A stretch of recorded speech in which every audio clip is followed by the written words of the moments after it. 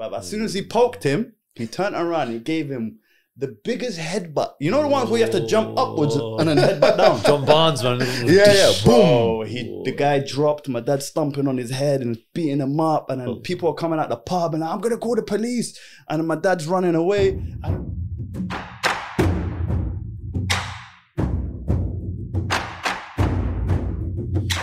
Nisar, barakallah fik for coming.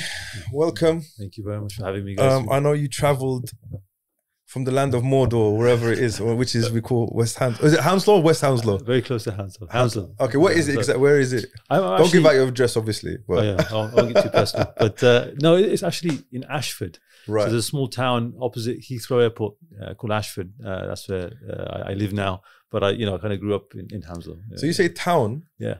So describe. Is it? Like, I'm thinking So you, you, you, you know, when you say town, you think it's not a village, but it's not a. it's not a city. It's a city. So Yeah. you're right in the middle. right in the middle. So you don't have a cathedral. That I think Right. that, that distinguishes us. Oh, from is it? Yeah, if, Oh, if- okay. if you're a city, you should have a cathedral there. So we're not that, and we're not a village. So we're in, in between. But So you've been there all your life, or is it pretty much, something? pretty Okay, much. so you yeah, grew up yeah. there. I grew up there. There's a, there's a hospital that I was born there in Ashford Hospital. I was born there. Um, it's an interesting place for someone like me, from my background, my my ethnic origin. Yeah. Uh, quite challenging growing up, as you can imagine. So uh, a lot of things that I had to contend with as a as a young person that I'm sure all of us here can kind of appreciate. But it's it's very much more there for me. I felt because it's a very working class, if I can say, white area. How white, though? Very white. As in, Uh, um, was there a lot so in, of, in my uh, high school, as, a, yeah. as an example, I can count on my one hand the number of coloured people that were in my in my in my school. So uh, and uh, So why did you? two, did two you of them why did your were- parents move there? Bro? So, So my- two of them were sorry. Go. two of them were actually well, me and my sister. so, so it's uh, yeah. Okay, so why did your parents move there exactly? So obviously, my, my parents came from, from India. Uh, they moved actually to the Midlands when they first were married, Right. and they came to the, the Midlands. So they, they lived in Wolverhampton, and then my father had a great passion for um, aircrafts. He loved Okay. aircraft. He loved flying. So he, he, he you know, he, he went for many many years, and I actually saw this later as, as an adult. I went through uh, some of his things, and I saw all the applications. He made seventy six applications to different airlines, and I saw all the rejection letters. And I cried that day. You know, Sana, it was a really, really uh, Heartbreaking, man. And he finally got it. He got, He- his, he he got got, in, he got yeah? his break. So then he got his break and he got a job at British Airways. Mashallah. So then he left Wolverhampton, the Midlands, and he came to London and he lived in, in Heston, which is very close to Bath Road in uh, Yeah. in Hounslow. And then I was born, and then my siblings we came along. So that's, that, that was the reason why all my cousins they're all still in They're the Midlands. the They're in Midlands. Birmingham, Oh, okay. Walsall. Yeah, they're all up there. So yeah, yeah. so you caught life, man. You could have had a Birmingham accent, bro. Brummy, Brummy. Alhamdulillah. oh, uh, shout out to all the Birmingham guys. Yeah, my Bro, I see the brothers, statistics. No, no one's watching for Birmingham, bro. All right, mate. All right. Yeah. Uh, and I I went to Dudley once, Dudley, actually a couple of times. It's Dudley. Dudley, Dudley. Dudley, yeah, Dudley. yeah, yeah. And uh, you know what? I kind of like the Birmingham accent, especially in kids. Okay. And when it become, when, I mean, you wouldn't want a scientist to have a Yeah. Birmingham. I mean, or like a, you know, your surgeon to come. Right, so I'm going to take Oh, it. right. Take your horse out. Yeah, I'm going to give you a transplant. mate. That's a bit scousy a little bit. Yeah, it's got a bit It's further, got further north. yeah, right. exactly. Yeah. So, um, but yeah, alhamdulillah, you're from you're in London. You don't have the Yeah. accent. That that would have been another barrier as well, man. I know. a lot- I I know as well. I, I remember watching a documentary about um, the BBC how they had to kind of train. You know, I don't know if you've ever watched Mm. old, really old footage of BBC news readers and stuff. They had a specific type of way they used to speak, Mhm. and they had to kind of anyone from the Midlands and someone from, you know outside of. They had to kind of train themselves out of that that which is kind of it's more of a classist kind of. Sure. yeah. Um, so to enunciate. it, to yeah, exactly, yeah, exactly. yeah. Well, now alhamdulillah, we don't have that problem. now we've got subtitles. now we've got subtitles, especially from the Scousers, and, uh, really bad. mashallah. But I love the Scouse accent, man. I love it. I man. love it. My, my, one of my teachers is, is from Liverpool. A, a lot of my uh, friends are from Liverpool. I, I absolutely love it. It's, it's, Um, I remember one thing I heard from Lenny Henry doing. Uh, I'm gonna, I'm gonna try and attempt it. Yeah. Go on. Um, it, it goes. Uh, was Migrants got leukemia. I love Steven Gerrard. all right, sorry. Remember that one? All right, sorry. Calm down. Calm down, Calm, down, calm down. And that was Harry Enfield, right? Do you You still remember, do you remember remember Aaron school? Yeah, Yeah, yeah. Oh my days, yeah. So I love the uh, Liverpool accent. But I remember dropping it, bro. Oh. uh, awesome. man. I remember went to Aberdeen once. okay. Um, I must have been about. Why are you going so far north, bro? You just my- keep my- going. You know what's happened? Uh, my dad was um, so he was part of. There was some. He was part of this Algerian association where they were trying to free political prisoners from Algeria. So they would they would go to different um, university campuses and lobby and stuff like that. So he took me with him to Aberdeen, Mm. and um, a lot. I can't remember what day it was. I can't remember what. I think it was summer, but it was freezing. I remember it being cold. And the two two two things happened there. I mean, once we got to Aberdeen, and remember, there's no GPS, and we went in an old transit van. Do you remember those old transit vans? Um, the box one. I'm talking about 1970s one, bro. It was really old, yeah. And we got to to Aberdeen, and I remember my dad rolling down the window and asking a- guy for directions, and he could not understand him, bro. Like You- your dad could understand the. Uh, he couldn't the Scottish understand him, bro. He goes, he Yeah. like like the accent was so thick, Thick, yeah. Um, and then and then I remember we got to where we were going, and then and this is the, the the memory I had of being stuck in a lift with a really overweight guy, and he was crying for about a good three hours, bro. That's my nightmare, by the way. Oh, getting stuck in Cla- lifts, cla- claustrophobia. Oh, I'm yeah. claustrophobic to the max. and you do man. jujitsu, No. I do jiu-jitsu, bro. It's crazy, We'll get man. into that actually. Yeah, but yeah, so I, that, that's my distinct memory of being in Scotland Yeah. and it being dark at two thirty, three o'clock as well. Maybe it's an exaggeration, but to, as a kid, Yeah, yeah. Maghrib's yeah, pretty early. It's up pretty there. early up Pretty there, right? Yeah, yeah. yeah, because they're closer to. I think they got like a rukhsa, they got a dispensation that you know you can join all your salahs together. Yeah. I'm joking. uh, But I know in North, wasn't it recently in yeah, yeah. was Sweden, it in Sweden? Yeah, yeah, yeah. Um, I remember who was Sheikh Haytham go there, Yeah, he did. Yeah, he did. and they did like a documentary or some sort of. yeah, uh, yeah. I, I, saw they, they, they, yeah, they did like travel, some sort of like travel log. Yeah, I Yeah, yeah, travel log. Yeah, so uh, quite interesting. Mm. But you didn't come here to talk about Aberdeen. Um, so I guess I, I'll, I'll tell the viewers about how I kind of come across you. Mm. And I was just telling you on the phone earlier that um, I think I can't remember how long ago it was, but this definitely be, definitely before I um, I started training grappling, right? Uh, and I came, and this is when YouTube was like quite fresh. Yeah, I'm looking at 2012, 2011, something like that. And I came across your video. Sorry if I'm repeating this to you because I already said this to you, but this is for the, for the benefit of the viewers and the listeners. And you were talking about, I think you were purple belt then. Mm. Allahu a'lam, I think you were purple belt. And you were you were you were giving a lecture about uh, I think you were you were in a gi and it's the first time I was actually exposed to jiu-jitsu in that way around that time. And I remember watching Ultimate Fighter at the, in the same year. And that's when I started getting like understanding, you know, MMA and Sure. because I came from a traditional martial Traditional, arts yeah, martial arts background, yeah. And I think, like I was telling you, uh, I don't know if I, no, I, didn't, I didn't tell you this, but my instructor actually, he he kind of didn't want me to train other martial arts. Mm. So I, I was kind of like, I always wanted to do judo, always wanted to do other things, but no, no, he's very traditional, isn't it? He Purist, wa- yeah, yeah, he's a Yeah. purist, exactly, yeah. But there's only so many front punches you can do, innit, bro? Does that make sense? There's only so many forms you can do. There's only Kata. mm, yeah, because you want you like you you want to exactly kata, Mm. and I hated kata, man. Um, uh, but there's only so much. Uh, what's the word? Uh, you want to know who's the best fighter, bro. That's what you want, really. It always comes down to It that. always comes it? down to that, It does, right? it Who is the best fighter, bro? That's what you want to know. So I remember going through YouTube, watched Ultimate Fighter, um, and then I was like, "What? What's this jiu-jitsu stuff, man?" And I remember, like, so UFC one, I would have been really young, so I kind of caught UFC one after I watched Ultimate Fighter. So Mm. for my thing was Ultimate Fighter first, and then watched UFC one after that. And then I went to YouTube, and then your name came up, bro, which is weird. So I watched it, and it was, and then there's some. Um, you were in the park. I think there was one with you. I can't remember this video. I should have uh, researched this before I come here. And that's kind of, and then I kind of, over the years, like you've come in and out of the ring, but never. This is the first time I've met you since then. So, the power of martial arts and the power of the internet, Power how the it brings internet, people man. together. Mm. Um, so like today as well, I went to. So we've got grading next week, uh, jiu-jitsu grading next Nice. week, uh, Sunday. So I went to buy the belts for them, and I went to uh, the Budo store. Okay.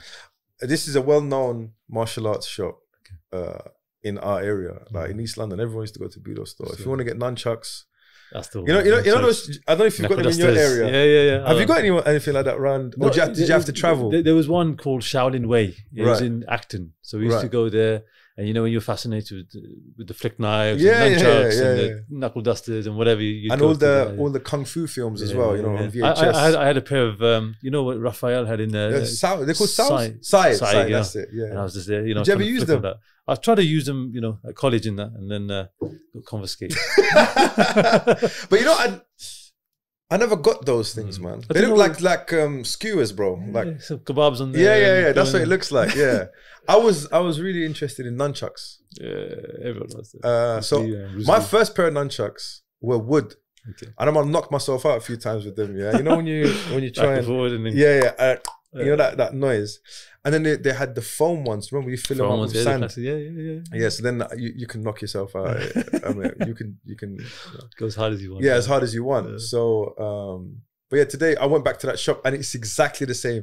You know these guys they keep on. it. They All don't do stock. They don't change it. no. st- I said, do you have BJJ belts? He goes, Nah, I don't do BJJ. belts." I go, BJJ? well, Yeah. he goes, just give me the judo belts, man. It's fine. So that's all. I can't be bothered to order it online. Um, but yeah, so kind of like, and so, so this the, the I would say the Muslims marsh.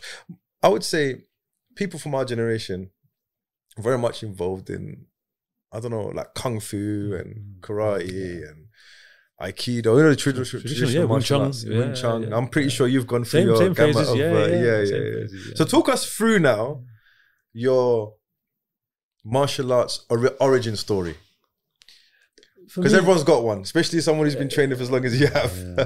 I think everyone's got. I think every every every boy, every man, Yeah. uh, participates, uh, has some collision with martial arts somewhere. Whether Yeah. they embrace it or they reject it or whatever, it always happens, and it's it's usually off of you know kind of being bullied or feeling inadequate, lack of confidence. For me, it did start quite early on. I'd say you know even as a as a kid, so I, I was involved in a lot of fights, a lot of lot of fights. I was bullied, you know. Quite heavily as, as a young person. what kind of bullying, bro? so you you know, it started off with just basic basic name Racism. a lot of racism, but it it became very aggressive because then it was you know it wasn't just one on one. It became you know kind of two on one, three on one. Little gangs with crew. You know we had little they were called the bandits. Uh, they go around on BMXs and they come and they go packy bashing or whatever the case Yeah. was back in those days. And you know I was subjected to a lot of that. Sadly, even my friends who were people in, in my school uh, you know, they turned against you when when it was favourable, or, you know, popular. Uh, again, you're, you're you're the brownie in the class or whatever it was, and it was hard for them to speak up. So a lot of that Brownie? yeah, yeah, well, you know, that's that's the term my, my wife uses. You know, when we talk about, uh, I love that term. yeah, I think that's that's an a term of endearment. Yeah, know. man. Because brownies are Yeah, nice, They're nice, isn't it?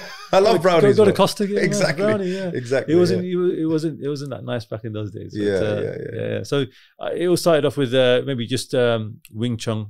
I was. I think I remember doing that very first. I had like you were talking about the license. Yeah. collected my, my picture. Yeah, you know, back in 1989 and all that sort of stuff. So But who then- taught you Wing Chun? You Wing Chun, uh, Sifu James. He was a local guy and uh, White guy, black guy. White, white guy. White Okay. guy. Yeah, he, he was. A, he was a nice guy. He lived literally down the road from me, but. Uh, I, I guess it wasn't very comfortable for me. You know, I, I was clearly the the odd one out in the classes. I wasn't given the same attention, and I, I think it fizzled out because I, I didn't enjoy it being in there. I just didn't like the setting of the class, and I, kind of just left it because I, I couldn't find. For me, what was really important was that, and I later discovered this was that martial arts had to be applicable. It had to be real. It had to be relevant. Okay, and if you're doing a lot of forms, if you're doing a lot of theoretical, conceptual movements, and then you go up to the fish and chip shop, and you know, what are you effing packy? What you looking at? What are you doing? And then it just it The, goes. the, Yeah. the whole feet thing. That all goes out the window, bro. You know. The thing, really- you, you know, I remember us having the same feeling as you. Is I remember when I was training karate, yeah. And I say, okay, I'm fighting against a karate guy, yeah. And we know what it's almost like a dance, right? It's going back and forth, right? Front kick, side kick. And don't get me wrong, a lot of MMA guys they're come like. GSP. Look at these guys. You got yeah. Wonder Boy, you got um, Machida, which is which is by the way, his father is from the JK, which is the same lineage that I oh, yeah, that I studied, yeah. Um, so they were able to kind of, They but he, uh, obviously his father was open minded, isn't it? He kind of because uh, he his son wanted to do MMA, so they've uh, they've even got like a whole um, school around it, and you know Shotokan for MMA and stuff like that. But um, I remember thinking that would this would this work against someone who's just gonna rain punches on me? Well, I'm not just gonna do rising block, bro. And do you know what I'm saying, bro? Absolutely, Like, yeah. I- my, my experiences. Of, I wasn't of- confident in it. Yeah, Yeah, and, Yeah. and like you say, my, my experiences of of fighting, combat, confrontation was never like that. It was a, Mm. it was rushed. you're getting rushed. You're Yeah. getting rushed. You know, two two guys would come up, they just grab you know your, blazer over the top of your head and smack you in the back of it. And it was it wasn't very. You know, so whenever I was there, I'd sit there and I think, oh, it's not one. I'm not comfortable here because I'm perhaps not being taught in in the most uh, appropriate way. But also, how relevant is this? I'm, I'm not going to be doing this. You know, You, you you you thought that at, at that age, yeah? yeah, yeah. Because for me, it was it was really about uh, finding something that would make me feel uh, able to defend myself. It was very uncomfortable, bro. You know, it's very hard to describe when you go. You, you go into school, you go into the park, and your stomach's bubbling Yeah, with nerves, and you're like, bro, I need to I've got to run. I've got to go. I don't want to be here. I, you know, and it's it's really uncomfortable. So when And you're being there, out with your parents is even worse, isn't it? it's horrible. Yeah, it's yeah. horrible. I Yeah. remember my dad. You know, like I, I- I got beaten up outside. Um, I used to go to read Quran. I used to go, you know, for sacred study uh, to an auntie's house, and I'd go there. And at the same place, there's a bunch of you know estates and flats that were there, Viola Avenue, and I used to walk down there. And these three guys I, I knew from school, they'd come up. And uh, yeah, you know, and it's the first time ever I, I actually hit back when there was three of them. So I I was there getting the racial slurs, getting whatever. And then the guy pulled me in close and, you know, what you to do? I just smacked him straight in his face. And Well, you got to I- describe it, bro. yeah, yeah. So Do you remember? to, to, Did you front punch him? Did you elbow him? Did you kick know, him? It was like the, the way of the thousand fists. oh, so you done one of those ones, yeah? Yeah. Yeah. kind of them ones. No, it was it was, bro, It was like, it was like a girly punch. Like, yeah, yeah, "Eh, yeah, And he thought, what is this guy doing? yeah. So then they just took it upon themselves. The three of them, they just Yeah, pushed me into the bushes. I was being kicked on. And really, it didn't hurt. The beating didn't hurt. What hurt was my friends who were just standing next to me. Hey. It did nothing. We I- called him, you know, we called him in East London. What is that? Did, did you see me back? It, Did you see me back it, guys? Do you know? You know. Let me explain what. Did you see me back it, guys? Go, Did you see me back it? Is when there's a when there's a fight, and there's a eh, There's in too any- many people. in any fight, there's a there's a moment where there's chaos, right?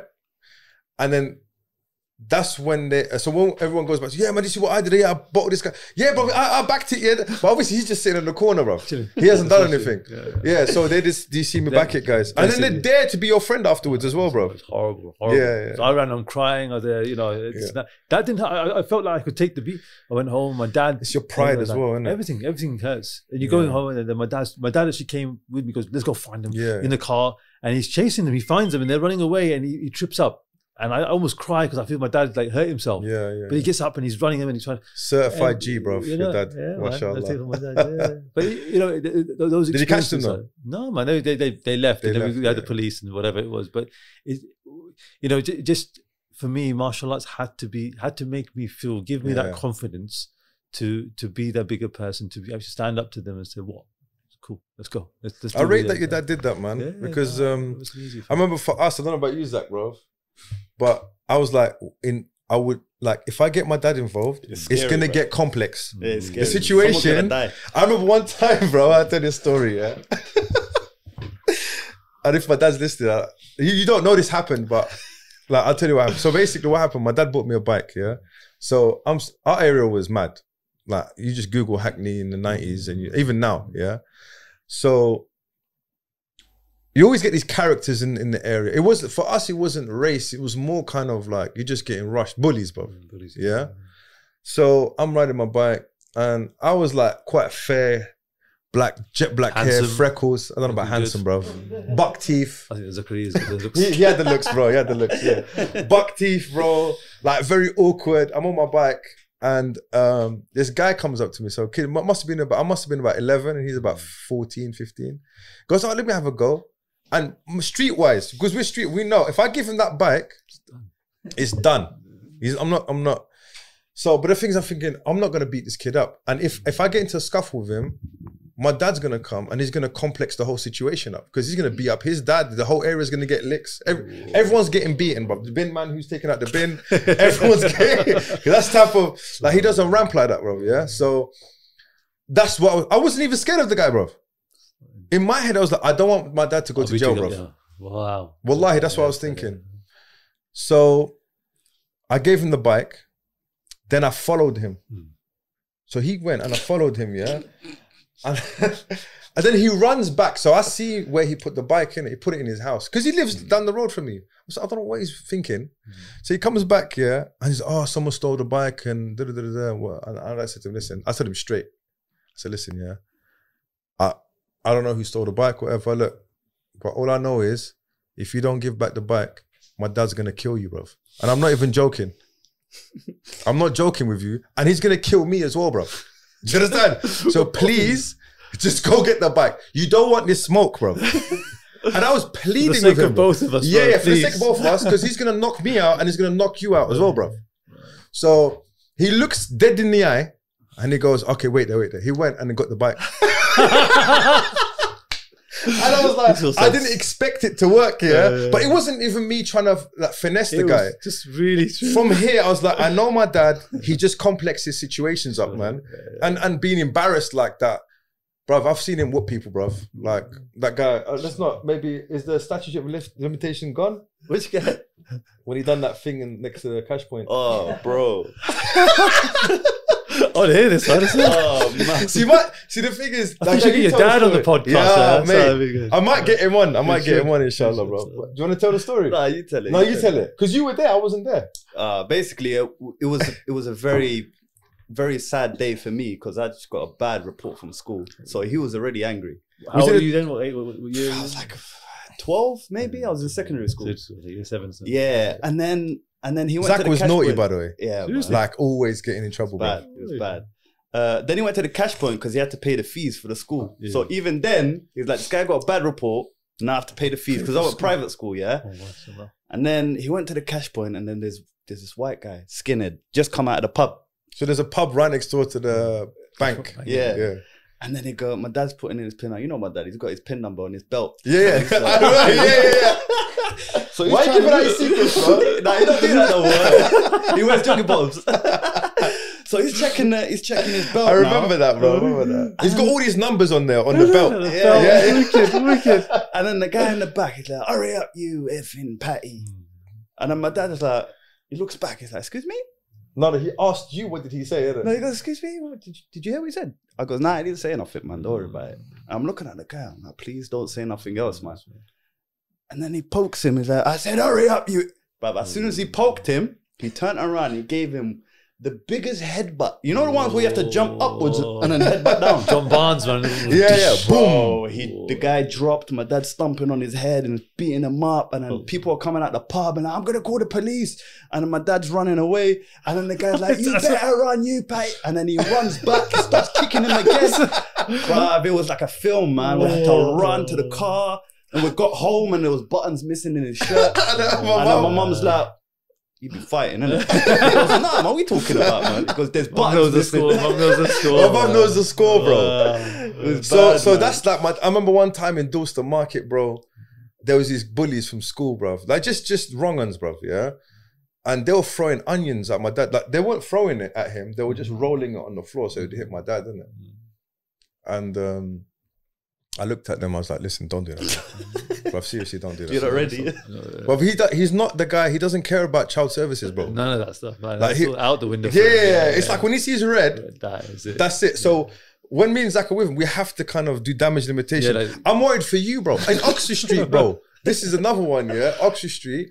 My granddad was there. It was me, my granddad, and my dad. So three generations. We're walking down Oxford Street. This guy just decides to come and push me, bro. I must have been 16. He's a grown man. So he just pushes me. I think he mistaken me for someone else or whatever. Before I even like they've dragged him into the alleyway and they're just chiefing up, chiefing my granddad, my dad, granddad, and my dad, just chiefing him up in the alleyway. Yeah, together, just and they're fighting, not fighting each other, but like, like let me deal. No, no, let me. And the guy's looking at them like they're. they're the sentence. yeah. so subhanallah, it was like so. So you know, like we're, we're trying, we're glorifying it, yeah. But it's in hindsight, it's like my dad didn't like dhulm, bruv. He doesn't like oppression. Do you understand? And uh, he's in Algeria now. He just, just, I told you, we just took, Yeah, uh, Zach took him, dropped yeah, him to airport, yeah. but he's never been able to be quiet, bro. Like you know, just, Such just a beautiful quality. Like, yeah, but also like I, I know doesn't the- get the- the promotions, doesn't never like quit so many jobs Sure. because of that, Okay. bro. He wouldn't. He wouldn't. Do you know what I'm saying? And that stability kind of goes a little bit. yeah, but subhanallah, you know what? He's he can live with his head held high, innit? And but I remember us. It was we're always nervous going out. Wow. In the night, can you imagine like your family? Yeah, you got your mom with hijab. Bro, car chasers and Cut, bruv, like Eid, I remember Eid, he was like- my mom was pregnant. Anyone Zach. cut up your dad, boy? Bruv. It's all over. man. Yeah, because he didn't like like, and the thing for him was, I'm a Muslim. proudly. Yeah, bruv. Like you don't ramp with me, bruv. Because if I let this go, then someone else is gonna get it, bruv. Down the line, you push that. Does that make sense? So, and that's kind of where we get our I, I think this is such a ghayra, good- bruv, and jealousy for for your deen, innit? Deen. For for and not just Muslims, bro. Just oppressed people, bro. Yeah, absolutely. Like it Wronged could- people, people wronged, wrong. yeah. Like if you see something wrong, like he couldn't, he couldn't, um, like stay quiet, bro. Sometimes we'd have to like, Put it to that. yeah, It's let's it's go not this your way. fight. Like, It's not yeah, your yeah, fight. yeah, leave it, bruv. Yeah, and bruv, yeah. oh, so many times I, I promised myself I'm not gonna say bruv too many times. Because I, one of my kids' friends, he goes, "You said he was counting how many bruvs I said." ding, ding, ding. That's happy for you, bro. but yeah, so it was, it was like talking about like you know what you were going through and seeing your dad doing that. Mm. a lot of dads wouldn't do that, Rob. And and sometimes as as as a, as a son, you need that backing, innit, Rob? You do. No, you don't want to be told, "Oh no, no, don't worry, don't make a don't make a scene, leave it. They'll they'll leave you alone." And do you know what I'm saying, bro? No, sometimes don't. you have to walk away, bro. Sometimes I, I, I watched this video recently of Steve Harvey. I don't know if you watched Steve Harvey. the the comedian, yeah, yeah, yeah. And, he, and he said the most inspirational person in his life was his father, and it was just simply him telling him that he could do something. Yes. And you know, he, you're talking back in the kind of uh, the '60s, uh, African Americans were struggling to, you know, with a lot of things, but you know, for him to uh, have the audaciousness to to go on TV, and he goes, "Dad, I want to be, you know, on TV." Uh, and like his mum saying, "Oh, it's ridiculous," and you know, what a silly thing, you know, African American. How are you ever going to get on TV? Yeah, yeah, yeah. and his dad right. kind of just turned around and said to him, he goes, "Why not? What's wrong with that?" And he had his back, and he, you know, he said to him, "It's a really, it's very powerful. Like you watch the video of, of him looking, at, like talking about this experience, and he goes, you know, I, I was there thinking my dad's going to beat me up because I did a, a bad thing in school, and he said, you know, you keep these little notes of your dreams of what you want to do." And you keep plugging away at them. And he goes, I kept that forever. You know, I kept that. He's a very successful comedian, Mm. you- you'll see. But you need, you know, father figures, you know, those positive people a lot of people may may, may think negative of what your your, your kind of dad. yeah, did. yeah, hundred percent, But bro. for me, you know, being unabashedly Muslim, being the man of the house, you know, having his sons there, his daughters, you know, his family, you need that strong role model. You need Hundred that- percent. so- And I think for me, only now become a father, Mm. um, you realize that what your dad's done for you, bro. Mm. And I remember I say to my uh, my kids, and also the students that we teach, I said to them, I always say this to them. I say, your mother is like a house, a beautiful house. Yeah, inside the house, it's warm, it's inviting, it's comfortable. Yeah, but your father is like the door. Yeah, no one recognizes the door in the house. But when the door is missing, that's the only thing that you can. Does that make sense? No matter how, imagine you see a beautiful house with no door. That's the only thing. But why isn't got a door? What's going on? And what what's what does the door do? Safety. It keeps the heat in. It keeps the intruders out. And that's the father. That's what. Mm. It's only when the door is not there, and that's that's our job as men in general. Mm. I remember think uh, watched the video today actually. Was someone talk about men? We don't get praised. We're- A man when he does something, mm. he's not praised. It's like we're not we're not we're not we're not brought up to be like women need to be praised. They and and and they should. I'm not saying they shouldn't, but for men we don't expect that. Yeah. no, Does that make sense? I'm not trying to kind of pull on all the the, the tears and whatever. It's not Just that. out. Yeah, exactly. but I'm a mom telling me because uh, Allah created you with broad shoulders, so you can it well. that's it. That's it. So, but yeah, I, I never, when I look back, I think he did that because imagine, I said, think about it. Yeah? Your father came here from India, yeah, Mm. to a country which is not only foreign, but also hostile. Mm.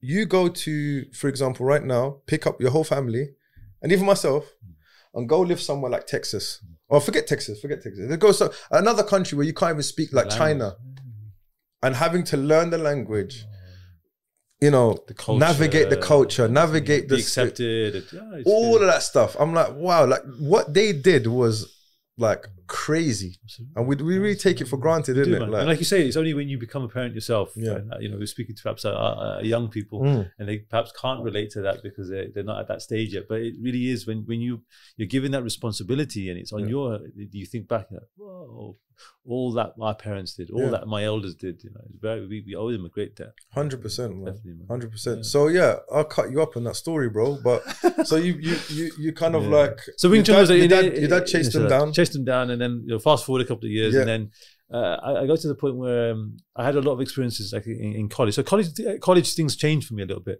I'm heavily, I was heavily into basketball. Right. I used to play ball. Is it football? Easy, Inshallah, shit. you're tall as well, man. So Uh, well bad. Can you dunk, bro? Yes, we have to dunk. Yeah, No, proper.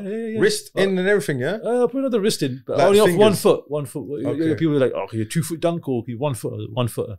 But Two foot uh, dunks, another one. That's bro. another one. Isn't it? Yeah, the vertical has to be there. But uh, You play for a team. I used to play for school team, college team, uni team. So I played for all three. So I did all right. we used to play. We used to, our, our, our, our school team. Yeah.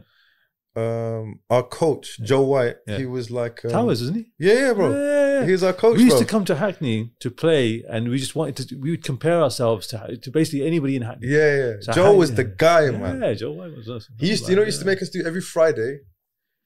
Um, you know the Kobe Adidas trainers. I don't know if you remember them. I remember them. You know the Kobe's yeah, yeah, with the- with the- thing, the, the modules. Like Yes, that. yes, yeah, yeah, yeah, yeah, yeah. So because we had a we had a sponsor, he managed to get Kobe's. sponsorship. Yeah, the Kobe's. You remember those, bro? bro, He used to make us shoot for them. Ah, So you'd go to the uh, free throw, not free throw, the three pointer, and you make ten three pointers. You get you get a Kobe uh, Pair pair, of shoes. But I never got them, bro, because I was whack at shooting. Shoot bricks all day, bro. Just bricks. That was the But- only thing I was pretty good at. I was okay. I was okay shooting because growing up we used to play on the netball rings in school. Yeah. you know, you know that used That's to help. dead, my, bro. shot, yeah.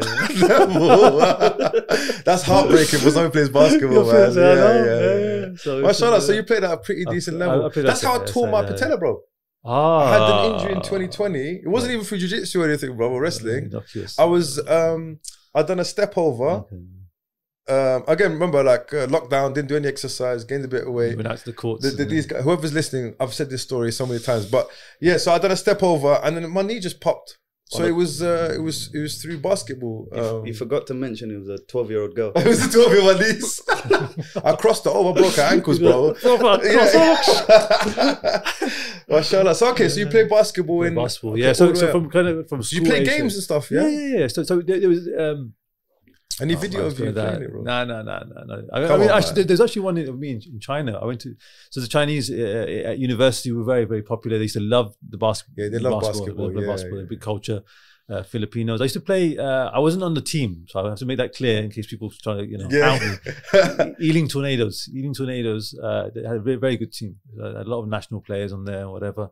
So I used to play a little bit for them. In fact, today, just today, I took my son for the first time. He's eight years old. He loves basketball. I got a hoop in the, in the back. He goes, "Oh, I want, Bob, I want to go to, uh, you know, play for a team." So I said, "Okay, let's go to Hounslow." We went there, and this coach, st- the coach there, and I used to go to college Oh, together. okay. subhanallah. Wesley, and we were just speaking to him today. He goes, "Oh, it's good, man. You got him back in and stuff." It just, you know, brings back a lot of the memories of.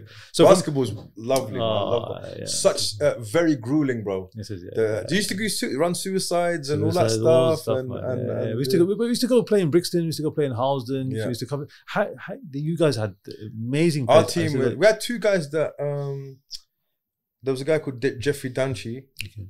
He went to America, Okay. But I don't know if he made the NBA or not. But to be Yeah. honest with you, there was not enough uh, resources, bro. Right. Do you understand? But he was very good. Okay. Him and his older brother.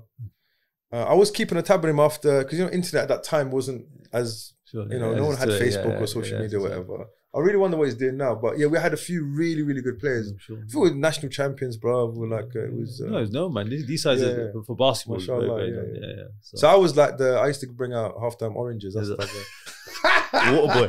I was the water boy, bro. I was alright at basketball, but I was wild, bro. So Joe was like, "You need to calm down, bro." Yeah, yeah, They used to call me spaghetti legs yeah. You're all over the place. because I was all over the place. Yeah, Yeah. yeah. So, um, but I never like I never took it took it any any further than second. I had school. big dreams, bro. Yeah. I was there, man. I, You went to go proper I- play. I- in, college, I remember refusing to put in my UCAS application for uni. And my mum was looking at me, what are you, what are you doing with that? "Oh, I'm going to NBA, mum. NBA. Yeah, why Why not, not, bro? bro? Why not? So I said, it's like, you know, I Where's said, Steve Harvey's dad when you need him, man? I said an application form off. I remember I wrote to his name's David Stern. He's the old commissioner of the NBA. I wrote to him. My dad actually met him. My dad met him in New York City. My dad used to do these uh, uh, courier trips and uh, to New York. My dad uh, Courier sounds like Courier, you smugglers yeah. over there. I don't know Taking packages. packages over Yeah. British Airways. But he used to go. Like, he used to get to go on Concorde. He used Oh, to go on wow. Concorde, and he used to go. And he, basically, British Airways would have these documents that he'd have to take. Right, and if you could take them, my dad in one year went to New York thirty-seven times. wow. For How long was the flight? Concorde. Uh, Concorde it takes three hours from from London Heathrow to JFK. It was three hours. So, and how Where's how long is it with normal? Uh, no, almost about seven hours. Yeah. Wow, so seven in- hours, yeah. Yeah, what yeah, happened to the Concorde, man? Concorde, man? It's, it's just It was too he stay there, expensive, right? expensive. It was too Yeah, yeah, expensive. Does he stay there and relax and or he just No, so some back? literally some days he'd have to do like a three hour stopover and then back. That's Oh. mad. bro. yeah, but sometimes he'd actually get to stay and he'd, he'd go there. And he actually had. Uh, well, okay, my, my I'm going to tell, I want to tell you a few. Go on. My my my younger brother is a big wrestling fanatic, and he's not wrestling like we all know, WWE? WWE. He's he's he's gonna love that I mentioned this. Go on. Uh, he's best friends with Bret the Hitman Hart. If you remember Bret the Hitman Hart, uh, he was a famous Did he Canadian. die recently? No, no, no, no. No, that was someone else. That was um, his, his cousin or his brother-in-law, British Bulldog. If you remember British Bulldog, Yeah, I remember British Bulldog. he died. yeah. Yeah, he died. No, but there's another guy. Owen Hart. Owen He's- Hart, Owen Hart. right, Yeah, he- yes. Yeah, he- the one who used to come from the ceiling. from the Remember? thing, he came down. yeah, yeah, Yeah. yeah, yeah. So Bret Hart. So he's he's very close. He's actually friends with my brother. Right? How? So brother, I don't know how. uh, For the last. Where's your brother? Is he in the UK? He's in the UK. with Mum and dad. Yeah, he's in West London. But my brother, my brother, uh, undercover has been a WWE rep, whatever that means. So whenever the, the WWE guys come here in, in the UK and they do tours and whatever, he promotes them. He goes there. What, he goes still to this day? To this day, he was just last week, two weeks ago. Bret Hart came and he was giving a talk in, in Telford, somewhere in Midlands. Bret Hart Bret in Hart. Telford. Yeah, man. That's mad, bro. Yeah, it's really actually. I don't know. I don't, I don't know. So yeah. That's so I- crazy. but you know, raw. There we go. yeah. That's it. you know what? I never used to Muhammad, get Muhammad, it. that's for you. That's you know, I never used to get it, bro. Why do you never? That's what I want. to know, bro. Why? Why are you? They always miss. It's about sixty-four, man. Yeah, yeah. Calgary, there you go. Canada. Yeah, yeah. So- Owen Hart wasn't his. Oh, was his brother Owen brother, Hart? yeah, Yeah, so I thought they were related. Yeah, yeah, yeah, okay. Yeah. So, um, how do we get into that? Yeah, so wrestling was the thing, and my dad used to meet. So my dad met uh, Hulk Hogan. If you remember Hulk Hogan. yeah, yeah, of course. And yeah, so uh, they, they- they're on the Concorde. Which flight. Hulk Hogan though? The one with the NWO Hulk- Hogan? It was old school, man. No, because uh, no, no, Hulk Hogan had different phases in it. So in the nineties, He was the Macho Man became phase. a baddie, baddie. Remember for a little Yeah, bit. no, no. Your brother phase. would know if he's listening to this. Yeah, yeah. If you, if you listen to this, what's your brother's name? Muhammad. Muhammad, mashallah, Yeah. best of names. Muhammad, if you remember the Hulk Hogan phase where he had the black, he dyed his beard black and his mustache blonde. Oh, You, you know more He was a bad me, guy. I used to, I used to watch it. He was bro. the I used to heel then, He was the heel, exactly, yeah, bro. hero, yeah. And also, Muhammad, if you can, you know, scalp us some tickets, bro. I wouldn't mind going watching WrestleMania, bro, or something. Bro, that Holla could happen. boy. That could happen. That could really and by happen. the way, by the way, do you know how many people come to Legion thinking we teach WWE? Bro? sure. the hip toss and where's the ring at, man? The- where- where- where's the ring? Where's the where's the what's it called? The, The top suplex- ropes, uh, yeah, the suplex, top rocks. uh, well, suplex we do in it. What's the other one? The the the, the DDT, DDT, Tombstone. Tombstone. Okay, so yeah, so your brother. he So, so, my- yeah, so, so my dad, he met some of these. So on that same flight, he met David Stern, who was the commissioner of the NBA. I got to write to him. They, he wrote back to me, and I was like, "Yeah, I'm going to the NBA, man." And then that didn't happen. So what happened? He I just went to University of? Westminster. I studied BSc Computer Science. The one in uh, Marylebone Road. Marylebone. I was there for what year? uh, What year did you go? I was there. Uh, two, so I, I, I- I did 2000. I, I started in 2000. I was at Marylebone campus, and then I, I got appendicitis, so I had to have surgery, and then I just flopped that whole year. Basically, I Mm. couldn't go back. I missed too many classes, so I, I left that. And then uh, I went back the next year, and I started in 2001. I, I actually graduated in 2003. So, uh, So when did yeah. my, my dad went to Yeah. West Thames. Westminster? You you, Westminster? Westminster, Oh, yeah. went to my uncle went to West Thames. Ah, okay, My dad studied in Westminster. Actually, you know who's who went in? Uh, he went Westminster. Ali, bro. Ali Yusuf. What was that? Yeah, but I think he went to another campus. Hmm. I just baited his whole life up, bro. Yeah, but yeah, the Marylebone. uh, There's a few, bro. Actually, because you're just a couple of years older than me, right? Yeah, so that's 2003. So we would have been in university. That's when we started university. Yeah, you would have started. 2003. Yeah, And you would have been kind of on the way out. Yeah. So you did computer science, right? I did computer science, and that that was interesting because it was there that I really learned about, you know, coming back to martial arts that I really didn't know anything about combat. You know, like I've been I've been in loads of fights. I've been, you know, playing basketball, scuffles, this and that. But it really dawned on me when I was at university, and um, we were in a situation where some some guys came, and literally we had to.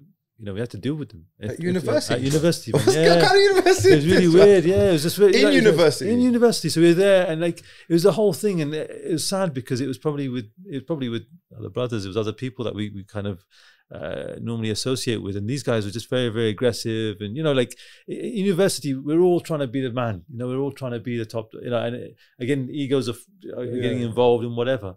And it realized I, I realized when when when there's about five of them coming at me that I don't know anything about really fighting and that, that's where I, I I went on a bit of a journey to, to search out to look at. So I- I basically, you know, I ran away from that situation, and I, Which is, I- which is the I- smart thing to do, bro. Eh, Yeah, but it's hard to take. It's, Yeah, uh, yeah, the, yeah, the, yeah, the, 100%, uh, bro. the, the the pride in you, the ego in you. It's, it's very Want some difficult. more, to. Yeah, please. Shukran. Thank you. Okay, so, no. you, these five dudes. Yeah, so I was in a situation and I, I I wasn't happy with the way I dealt with it. I I, I managed to get out of it by faking it, you know, faking that uh, I knew something, and it worked. You know, just going in. I remember just rolling up my sleeves in this situation. Like, oh, bro, let's go. Uh, just doing that kind of mentally disarmed the guy, Right. and then he, he was supposed to meet in the car park. I'm a bit didn't. scared right now, bro. Yeah, that's what I'm saying. See his forearms. Please, bro, put your sleeves down. bro. Allow it, please, bro. I'm getting flashbacks of my dad, bro. Someone's gonna get knocked out, bro. Belt out. Read out your pin number, bro. so then when he when he kind of uh, he, he backed out, he didn't come Yeah. to the car park. But I, I saw him come with the guys, and I just got into my car and I went home. It dawned on me. I, I didn't know what I was doing. I was like, nah, man, this can't happen. And then we talked about UFC. I was given uh, a video, and this is from Shaolin Way. You know that that that, Yeah, that, yeah. that old school the connect, yeah, the connect, yeah, bro. The martial arts connect. Yeah, yeah. and he gave me the UFC. He goes, look at this, bro. Gracie in action videos. Watch- yeah, watch Gracie this." in action. Yeah, yeah, yeah. So I had all the VHS. And I was like looking at it. I was like, this is amazing. I have to give a shout out to my my boy uh, Desmond Harris, who's the guy I to play basketball with. He was actually actually a Shotokan karate guy, uh, but he played a lot of basketball. Uh, and uh, we went from college to university together. And it was him and his dad's dojo. He goes, "Come on, let's just try that stuff out." Where's his dojo? in Ealing Broadway. If you go Ealing Broadway, behind Ealing Broadway, Peter and Michael Harris, uh, Shotokan Karate, they, they had their. bro, their- Google it, bro. Yeah, I probably not, I don't know, but it's probably not there. But uh, Desmond is a very close friend to this day. You know, he's, he's a lovely, he's, he's my dear brother. So we, he'd get his mats out. He goes, "Yeah, that stuff. Let's just try it." And we were very much into the movies. You know, Jackie Chan, Jet Li, Yeah. we were all that. And we, the stuff ain't working. We we would exhaust ourselves to the point where I couldn't even drive home. And this So, was at uni Doing what? Sorry.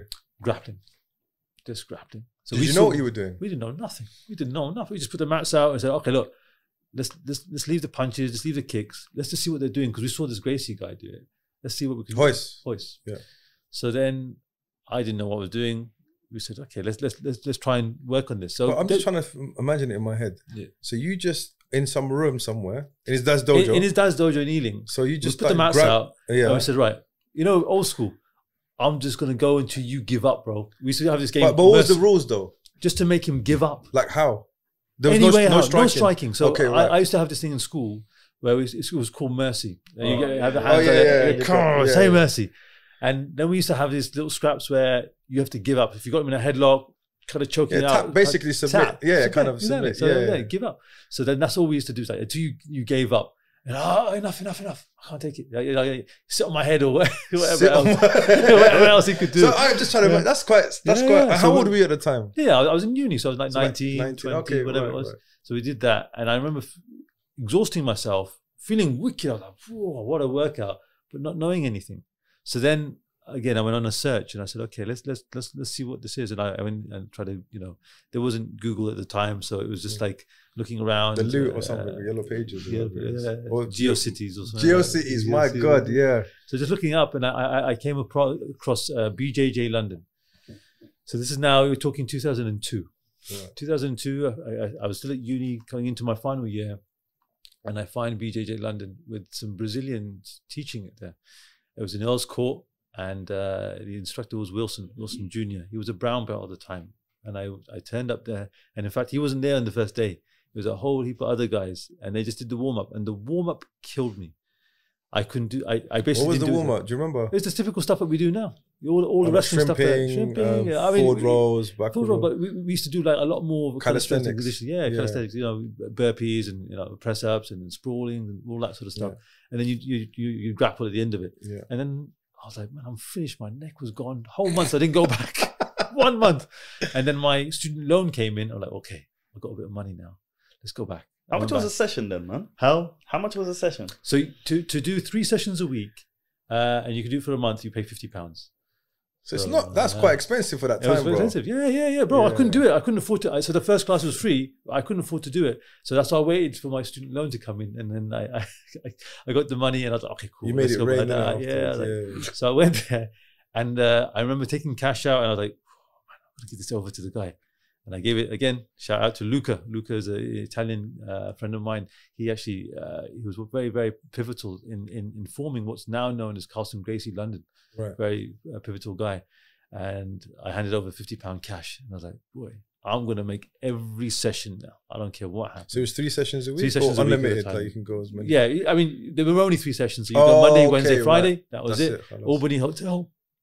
We go there, and we'll. See was it dedicated gym or was it No, no, it's, just, it's a hotel. It's the basement of a hotel, Wow. Albany Hotel. You can look that up. Uh, Albany Hotel. That's where that, that's where Carlson Gracie started. It was actually Yeah. there, and that's where I met the world of people. I met sambo specialists. I, I came across my my friend Simon Hayes, Dickie Martin, uh, Walid. You know, these were the guys that were there. Scruffy old Matt in the basement. Um, and you, you, you know, we, we would learn jujitsu, and that was my first exposure to it. I, I, I immediately was gripped within within uh, two months, I did my first tournament. Royce Gracie was my ref in my first ever match. what? So the very That's first, um, it was called the Gracie Invitational. Oh, yeah, happened in, in, in 2003. It happened. Did it in UK? Yeah. UK, Dagenham. It was in Dagenham. And I remember going for it. I flopped, man. I went in there I got triangled straight away. But it was more out of nerves than Yeah. you know what I mean, anything else.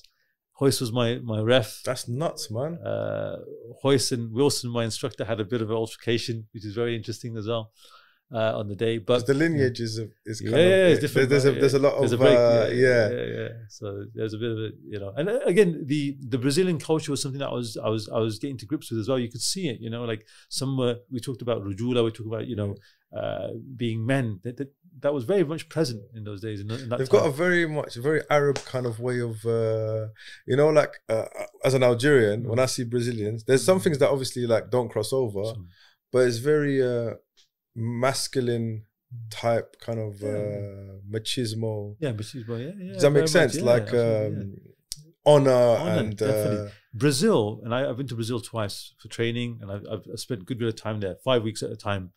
There is there is still to this day honor in the way that they they have a fight. mm, You will you'll get the rushes, you'll get people gangs, and all that. Yeah. So gangs are rife. You know, I spent time in Rio, and it's it's rough. It's not it's not easy. But if you offer somebody out and you have it there, it's one on one, and you see it all the time. They have a they have a square like goal the travelers as well they yeah, do the same yeah, the same thing, thing. sim- Travelers, yeah, similar, yeah, yeah. the same thing. You know, it's, it's a square goal and it goes to the end. Oh day, pulling out some old school stuff here, bro. Yeah, yeah. Yeah. No, no, no, no. Uh, what did you So, type in, Zach? Gracie's uh, invitation. Yeah, that's what- Is that you? No, no, that's not Up me. there? There's Walid. There's what he. Oh, yeah. Oh, there he That- is. that- I was there. Yeah, that was the, uh, he got his black belt. That's Simon and uh, and, and Dickie. Oh, there. That's uh, embarrassing. Which one's Is that you? Embar- embar- Dickie's the one on the on, on the. Is that you? My, yeah, that's uh, Okay. embarrassing picture. 2008. Handsome guy, mashallah. That was the the year I actually I, I went. Um, so there's this again feelings of inadequacy. We talk about this a little. Yeah. So I remember getting my my my purple belt 2008, and I felt, oh man, I don't deserve it. I did a couple of tournaments at uh, blue. I got a few silvers, but I still didn't feel like a purple. Yeah. So I said, uh, What does a purple feel like though? bro? that's the thing. You know, it's a, it's a really interesting question because it's that middle belt in Yeah. jiu-jitsu. So for, Yeah. for our viewers, you know, there's only five belts in jiu-jitsu. It's that middle belt. Uh, and you, you're there and you, you're kind of struggling to, do I deserve it? Do I deserve it? Got a few silvers. I'm all right. So I told Wilson, I'm going to Brazil. And he goes, why? And he says, I'm going to, I'm going to go compete in, it was called the Rio Open. It was Right. like, it's now what, what's known as the, the Masters. So after 30, you, you know, you're not in the adult category, you go to. So it was actually held in Rio before. So I went there, paid my fee, and uh, I said, I just wanted to feel secure in my purple belt. Right. Am I really a purple belt by their standards? Yeah. So I went to Brazil. I went to, to compete, and yeah, he's bringing out all the old embarrassing pictures. Well, that, that's you, innit? On That's the, it, on, on the, on the far right. Yeah, that's it. Uh, How old are you here, bro? I don't know, bro. That's like brown belt, man. That's twenty. So you're like a 20, 30. third free stripe, I think. two stripe. Two yeah, stripe. Yeah. So that, uh, yeah. So that, that's all the guys. So the, the, the Is that, front- the, is that the hotel?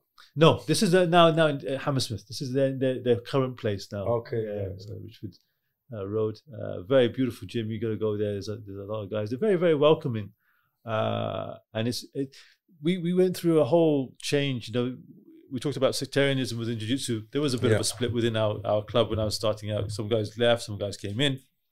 And credit to uh, Simon and Dicky, who, who took on uh, officiating the club. Because before it was very free for all. You turn up, sometimes you wouldn't have to pay anything. He's like, Right, who's right. teaching? You know, we had Wilson's old instructor, Nelson. You know, he was there. Sometimes, some, sometimes he wasn't.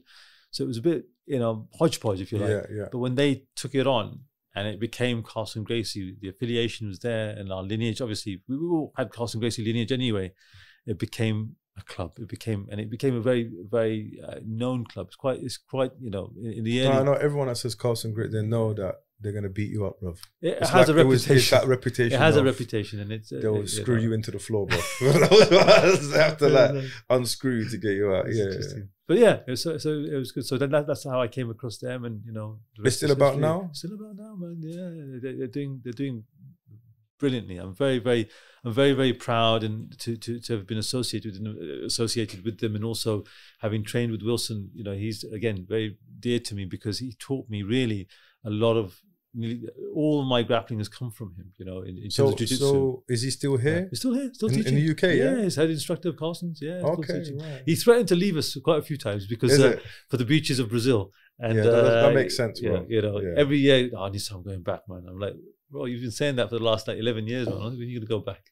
But he goes yeah. back. I'm guessing he goes back. He goes back forth. every, every Yeah. so often to see his family and stuff like that. Yeah. So yeah, no, it was interesting times. And how? What's the? Do you, do you go off? Do you, do you kind of uh, go back? So so now for or- me, uh, so alhamdulillah, I, I got my second degree just about two months ago from Carlson Gracie Junior. So Congratulations, uh, bro. thank you. And um, How does that work, man? So it, uh, beyond black belt, I Yeah. don't know how it works. So how- really. how does it Uh, work, So so as, as, uh, again, subjectivity. There is no one single criteria by any instructor Yeah. on who gets the belt and when and by what standard. The world over, I, I've done a, a lot of research into this and just looking and understanding people's different gradings and habits. And oh, is it based on competition? Is it medals? Yeah. Is it how, attendance? What it what is it? And it's I, as far as I can tell, and a, a lot of you know, a lot of people kind of agree with this. And I'm, who am I to speak? But if you speak, if you speak to some people very pivotal in, in jiu-jitsu, they will tell you that there is no one criteria for any belt. So it's very much down to the instructor, how he sees you, how, and this is a, it's a, a very contentious problem issue because some people will will feel uh, that they deserve a certain rank Right. at a certain point because of their performance, maybe you know, which is right. You know, if you're tapping out of, of purples, maybe you're a purple belt now Yeah. if you're going to competitions and you're winning gold medals, that says a lot, definitely. But I think, and this is the angle that I, this is certainly how I teach uh, my jiu-jitsu. I want, I would like people to understand what is it that it's doing for you in here, because in as much as you're able to beat people on the mats, you're tapping them out. If you're not transforming yourself internally, I think it's it's a, it's a, it's a major problem because it manifests in so many different ways, and that's why it's not the be all and end all to always be winning, to always be tapping people out, to always be, you know, uh, top of the hill or whatever it is, and, and and just continue like that. Oftentimes, the people who are like that, who can't lose, actually uh, actually end up leaving the art. They end up leaving, and this is uh, this is endemic in terms of what I find in, in Muslim communities and and others is that people actually give up when it becomes uh, too hard. Is that you know they either they lose they can't believe they've lost, and it becomes. I remember you had your your, your last, uh, I think it was the last podcast, but one of the podcasts, the, the brother that was here, you mentioned, you know, that, that feeling of when he lost, he kind of went into a depression, Yeah. and that that happens, you know, that- that's that's a serious problem as well. Then you've got people who you know have been doing it for years, and they you know, competition, and then all of a sudden it doesn't go well for them, or they're no longer that guy in the gym. You know, you were tapping everyone out for years. You know, I, remember feeling like that. I was there and I felt really good. Yeah, being a, a strong, you know, blue belt when I was single. And then purple belt, got married, kids came along, and I, you're not that top dog anymore. And you're like, oh man, these guys are giving me a hard time. I don't think I'll turn up anymore. You know, my, my friend Simon, he'll, he'll, he'll talk about blue beltitis Yeah. you know, and you know, that, that's a, it's a real thing. It happens, and, I, and and now being an instructor, I see that so often with my with my students that the minute that they get their grade or something else, it becomes harder for them, and it should be because it's it's it's a weight, it's a responsibility. But that is a time that we should continue to train. It's a time that we continue to give ourselves to the art because of what it teaches us, and this is why I feel that jiu-jitsu, the grappling arts in general, they they in themselves inculcate humility. They allow you very, in a very real and a very uh, dramatic way, uh, allow you to confront your ego in ways that you know team sports, other individual sports simply don't. Um, I didn't mention to you, Muhammad. I, I I'm working on a book. Inshallah, it'll be. I uh, wanted to bring this up Yeah. actually. I wanted to bring this up, but I wanted to talk, about this thing that we Yeah. were talking about. Yeah, yeah. Um, uh, you know this uh, uh, is juicy black belt, uh, Chao child, Chao Caio Terra. Chao- What's his name, Imran? Caio Terra. Caio Terra, yeah. Yeah. Yeah, I trained with his uh, his, his his instructor in Brazil. So, so his instructor was he was speaking about when he got his black belt. Yeah. I don't know if you, you remember it, this story. Yeah, yeah, yeah. Uh, do you want to talk about it? Actually, you you, you can bring it up. St- Strauss, I mean, you mentioned you can mention the story. Okay, but, so the uh, story basically was that he was winning uh, as he was a very good brown belt, and like he's winning competition after competition, right? And his and he was expecting to get his black belt, but his his instructor never gave it to him. And then one competition he lost, and he was crying on the mat. Uh, I think he was very upset. And then his that's when his instructor gave him the black belt, and uh, he was talking about. He was actually getting very quite emotional, and. um I can't remember what did his what did his coach say to him? Do you remember? He said something I, like I, um, I, I saw the video. like I saw that you're co- like he goes jiu-jitsu is not about winning the, podium. It's about what, like what you just said it's about inside. It's all, like you, you you got overconfident. But at the moment like it, I can't remember exactly what it was uh, something along I don't know I can't quote him but it was something along the lines of he was getting too gassed basically. That's basically it. Yeah, and I see, well, I see it in the gym as well. I see it sometimes. And unfortunately, young men, you get to a certain age in your 20s, and mashallah, you've got your, your strength, but sometimes you don't have this. And you see an obstacle, you want to drive right through it. Yeah. Um, and everyone's got different characters, right? So I know when I teach, especially kids, there's kids that are quiet that for you, you have to praise them. You have to, and there's some kids that you have to need smack. They need smacking down, bro. Yeah. They need to get not beaten down, but No, humbled a little. yeah, you need to get humbled. Yeah, yeah. So it's, there's there's a balance. So it's kind of like that's what martial arts does for you. Martial arts, if if you're if you're shy, it it makes you bold or makes you kind of confident. If you're overconfident, it will humble you. So it's kind of like That's that's why it's so beautiful. And that's why I, I I feel like a lot of Muslims, it does marry up a lot with our faith. Absolutely. There's so many parallels. So many Islam parallels, exactly. And, and, and, which and leads us nicely to what your your book because I heard you speak about on I think it was the last podcast you um, that I listened to. Um, yeah, but if you want to talk a bit about, ha- have you finished it or what's going on? 'Cause I'm I'm- looking to buy it's, it, it's, bro. it's actually yeah, yeah. It's, it's with the publishers now. It's being typesetted. So Oh, what does that inshallah that- So basically, they, they put it like I've given them this, the manuscript, and they put it nicely into like paragraphs and Oh, nicely okay, shaped into right. a, a book. And did you do it? Did you like work on it yourself? I did myself. Yeah, yeah. I, I, so it's actually a, a two-part book. Right. Uh, a, a part of it has been translated. So um, there is a very famous, celebrated scholar of our heritage, um, Imam Suyuti, So you're, yeah, yeah. So he wrote a book. It's a booklet actually, uh, il Al Musara'a, and it was what we translate as as hastening or, or quickening or swiftly to wrestling. And what he did was he collated uh, some 18 hadith of the Prophet sallallahu alaihi wasallam and his companions, and um, uh, and their wrestling. And it's not very, uh, it's not overly descriptive. There's no techniques in it. There's nothing like that. But what it does is it, it, it highlights to us the importance of the centrality of grappling uh, at the time of the Prophet ﷺ, at the time of the companions, and really what it did to them, and how it was very much a part of who they were. They were men that that you know they they were archers, they were wrestlers, they were people who knew how to use the sword. They lived a very rough and you know coarse existence, and it's something that I think a lot of Muslims tend to forget. There are elements of it that relate to their circumstance. There's elements that relate to their geography, where they were in Arabia, but also of who they were as men, as people. And this is something that uh, is being missed, and how also it informs us as spiritual beings. You can speak to, and I know uh, Kauter's uh, instructor. His name is Paulo Maurizio Strauss. He, I trained with him extensively in, in Brazil, and he is a deeply humble, spiritual person. And he's somebody that you know outside of jiu-jitsu, he's like a, he's he's a coral belt, so he's a black and red belt. Uh, and he's somebody that you can learn uh, from on and off the mat. I remember I was in, in Rio, and um, I'm not going to spell it out to you, but you can imagine the type of environment that you're in Yeah, yeah, when yeah. you're in Rio de Janeiro. Yeah, the kind of uh, you know uh, scantily dressed Yeah. uh, women that Carnival. around, carnival, Yeah. all the rest of it, right? So I remember I was there training, and he, he kind of gathered from my my my disposition. I'd break away for, for prayers and whatever that I wasn't really buying into that whole culture. I simply came to train. Yeah. So he said, Nisar, you know your eyes. When you walk out of here, don't look everywhere. Just look down. And I, I, I, for me, as, as a you know, inshallah, as a, as a, believer, I Yeah. you know, keeping our gaze Yeah, down, and, you know, and he, he was very much about that. So when, like you, you just mentioned the story about Caio Terra, when it was only when he lost that he was actually ready to receive his black belt. yes. It's something that we have to reflect on in terms of how we look at our progression through martial arts. Is it simply to beat people? Is it simply to win? Is it simply to get the medals? Or is there something deeper? And this is what I, I, I talk about a little bit in the very little, because it's actually part of three books that we're working on.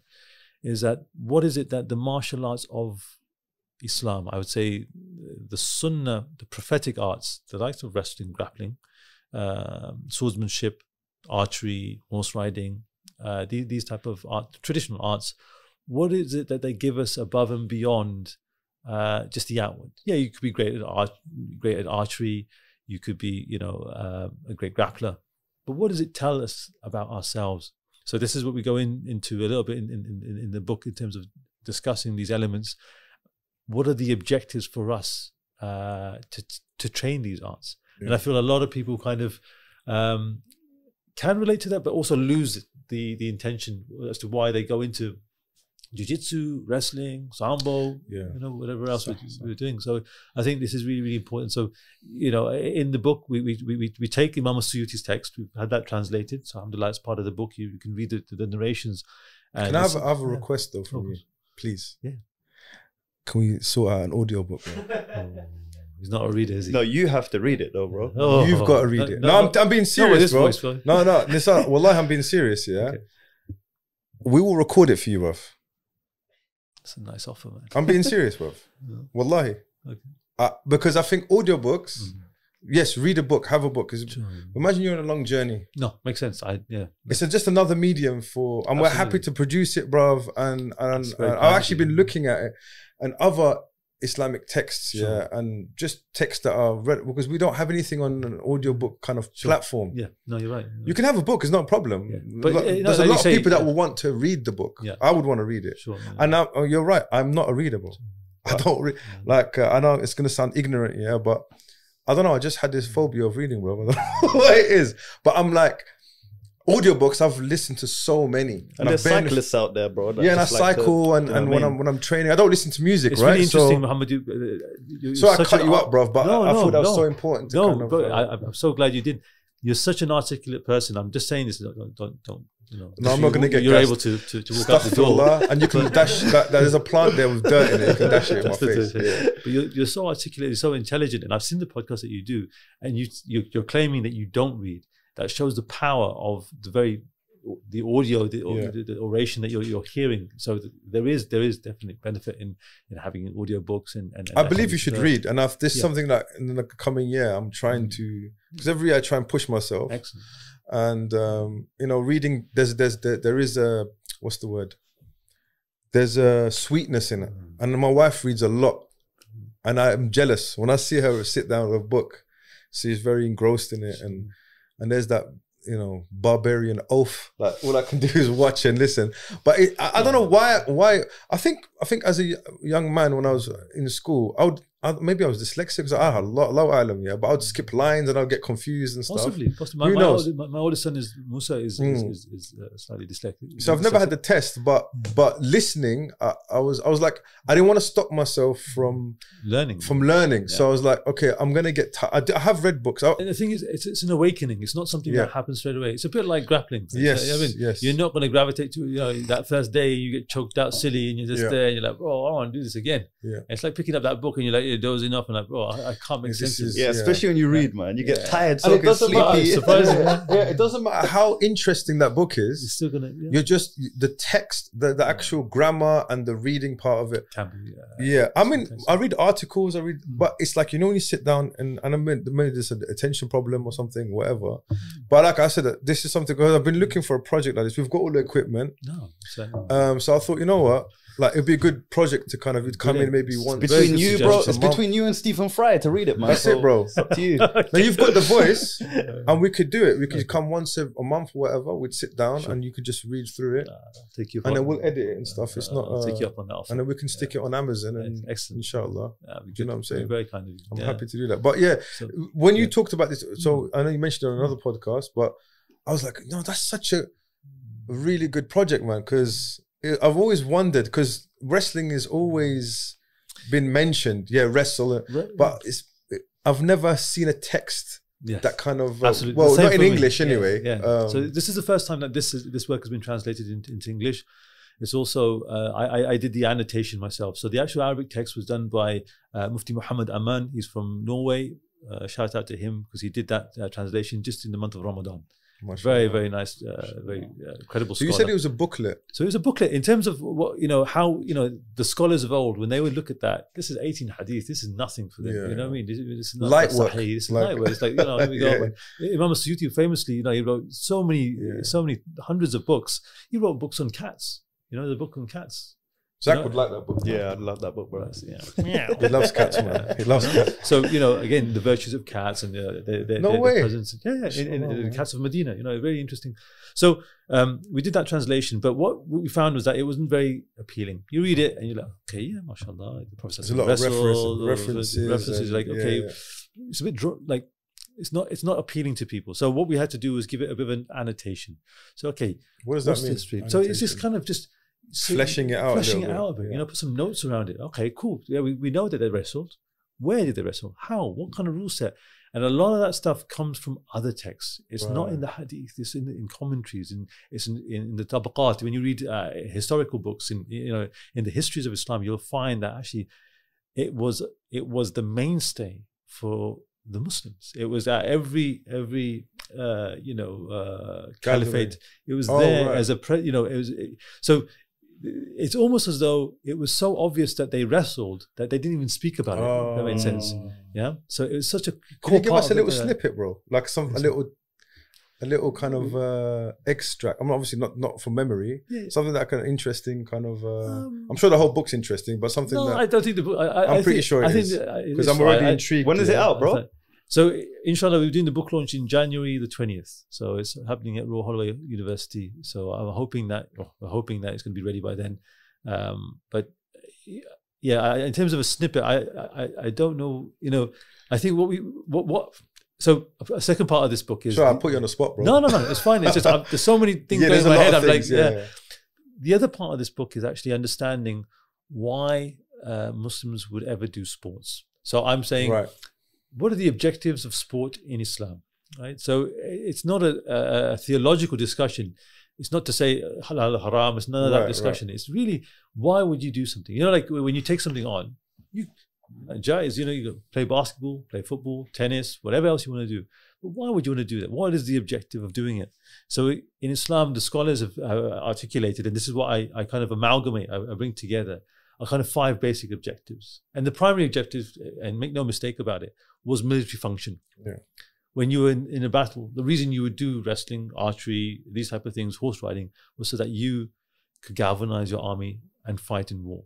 That's just period. I, you know, That's there's no- every martial art, though. yeah, exactly. That's the, the Like, core uh, judo, judo. jiu-jitsu, whatever. It's from for samurai. They used to use it on the on the battlefield, battlefield. right? That's, That's what martial arts is. So Basically. uh, you know, some people like to romanticize about, Yeah. oh no, it's enlightenment. And Mm, no, yeah. it was to fight. It was for war. Okay, so and also, quote me if I'm wrong. A lot of martial arts were diluted Yeah.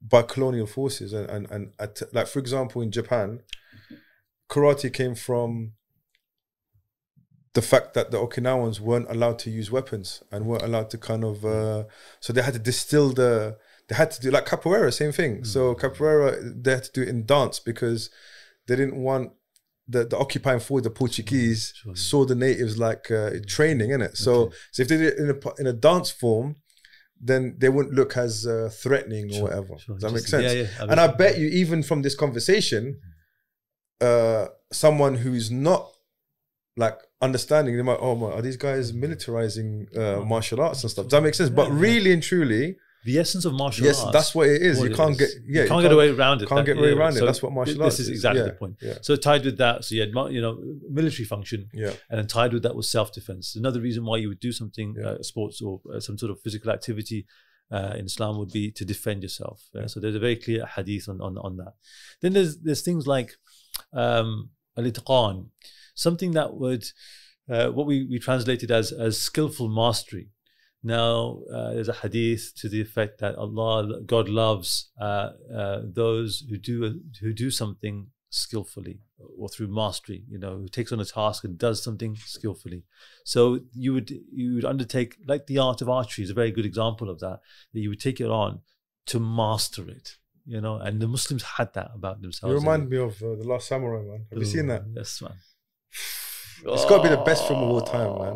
And there's, there's the segment. You know that segment when they talk about when when there's a scene where they're making tea. He goes about the, the there's a word that they use, the Japanese. Um, subhanallah, it, it, it escapes me, but it's, it's almost like Ihsan, ihsan. exactly. It's Ihsan, just- itqan is yeah, very similar. exactly. Yeah. Yes, yes, so so they the samurai have this word, Yeah. So it means perfection in every way. every way. So when you pour a cup of they, they have the tea ceremony Tea when they pour are yeah, when they when they're doing archery, yeah, when yeah. they're yes very very similar and and any nation would have this Yeah. the native americans did the same thing you know they would they would war, war was their lifestyle like i mean they would defend themselves against other tribes and obviously the invaders whatever it is but yeah when you said that it just reminded me of that scene from the last samurai when you know when they've captured him and they bring him Yeah, into the him village aside, yeah, yeah, yeah. and absolutely. Yeah. Yeah, and So- he's commentating on it like Yeah. it was very interesting no, yeah. exactly. It's, it's that. Is that i watch it at least once a year man. Same, same, Yeah, same, yeah. man. Yeah, it's definitely odd. My, my wife will always say, "Oh, I'm not that time again." Oh, Algren! And Bob. Sake! Yeah. And Bob. Bob's my favorite Bob's- character, bro. Bob's a G, Yeah, man. he's a G, bro. you know he reminds me of? He reminds me of, um, you know when the guy's shouting and he comes out like yeah, with the, with the sword? Yeah, yeah, yeah. Yeah. yeah. yeah like, what's, what's going on here, man? Exactly. It reminds me of narrations of Abu Khattab. Yeah, you can imagine him like, Yeah, "Uh, wait, you hey, watch your mouth, bro. Your mouth, bro. yeah, I put it back in. He's always been told to sheathe his sword, bro. That's it. That's it. So and he's the one who takes it at the end in the war, like in the in the battle. If you see it like Last Samurai, Yes. he's the one who sacrifices himself for. That's correct. Tom Yeah, Cruise, is exactly. Yeah. Exactly. Very interesting story, man. So yeah, so so that was that, that element. There's also an element of social and uh, recreational cohesion. So that the reasons why, and this is this is known throughout the Muslim world. If you go to the Ottomans, you know, even now, you, you, we talk about Dagestan and we talk Chechnya and these places. They had a culture of sport embedded in their social in their Fabric, setting, yeah, yeah, in, the in the settings. You know, so at weddings. Uh, you know, uh, at gatherings, you'd come together, reciting Quran, whatever it is, as a harakah, you would have wrestlers, you'd have archers that would come together. So an element, an objective of why you would do sports would be the social uh, and recreational cohesion within the community.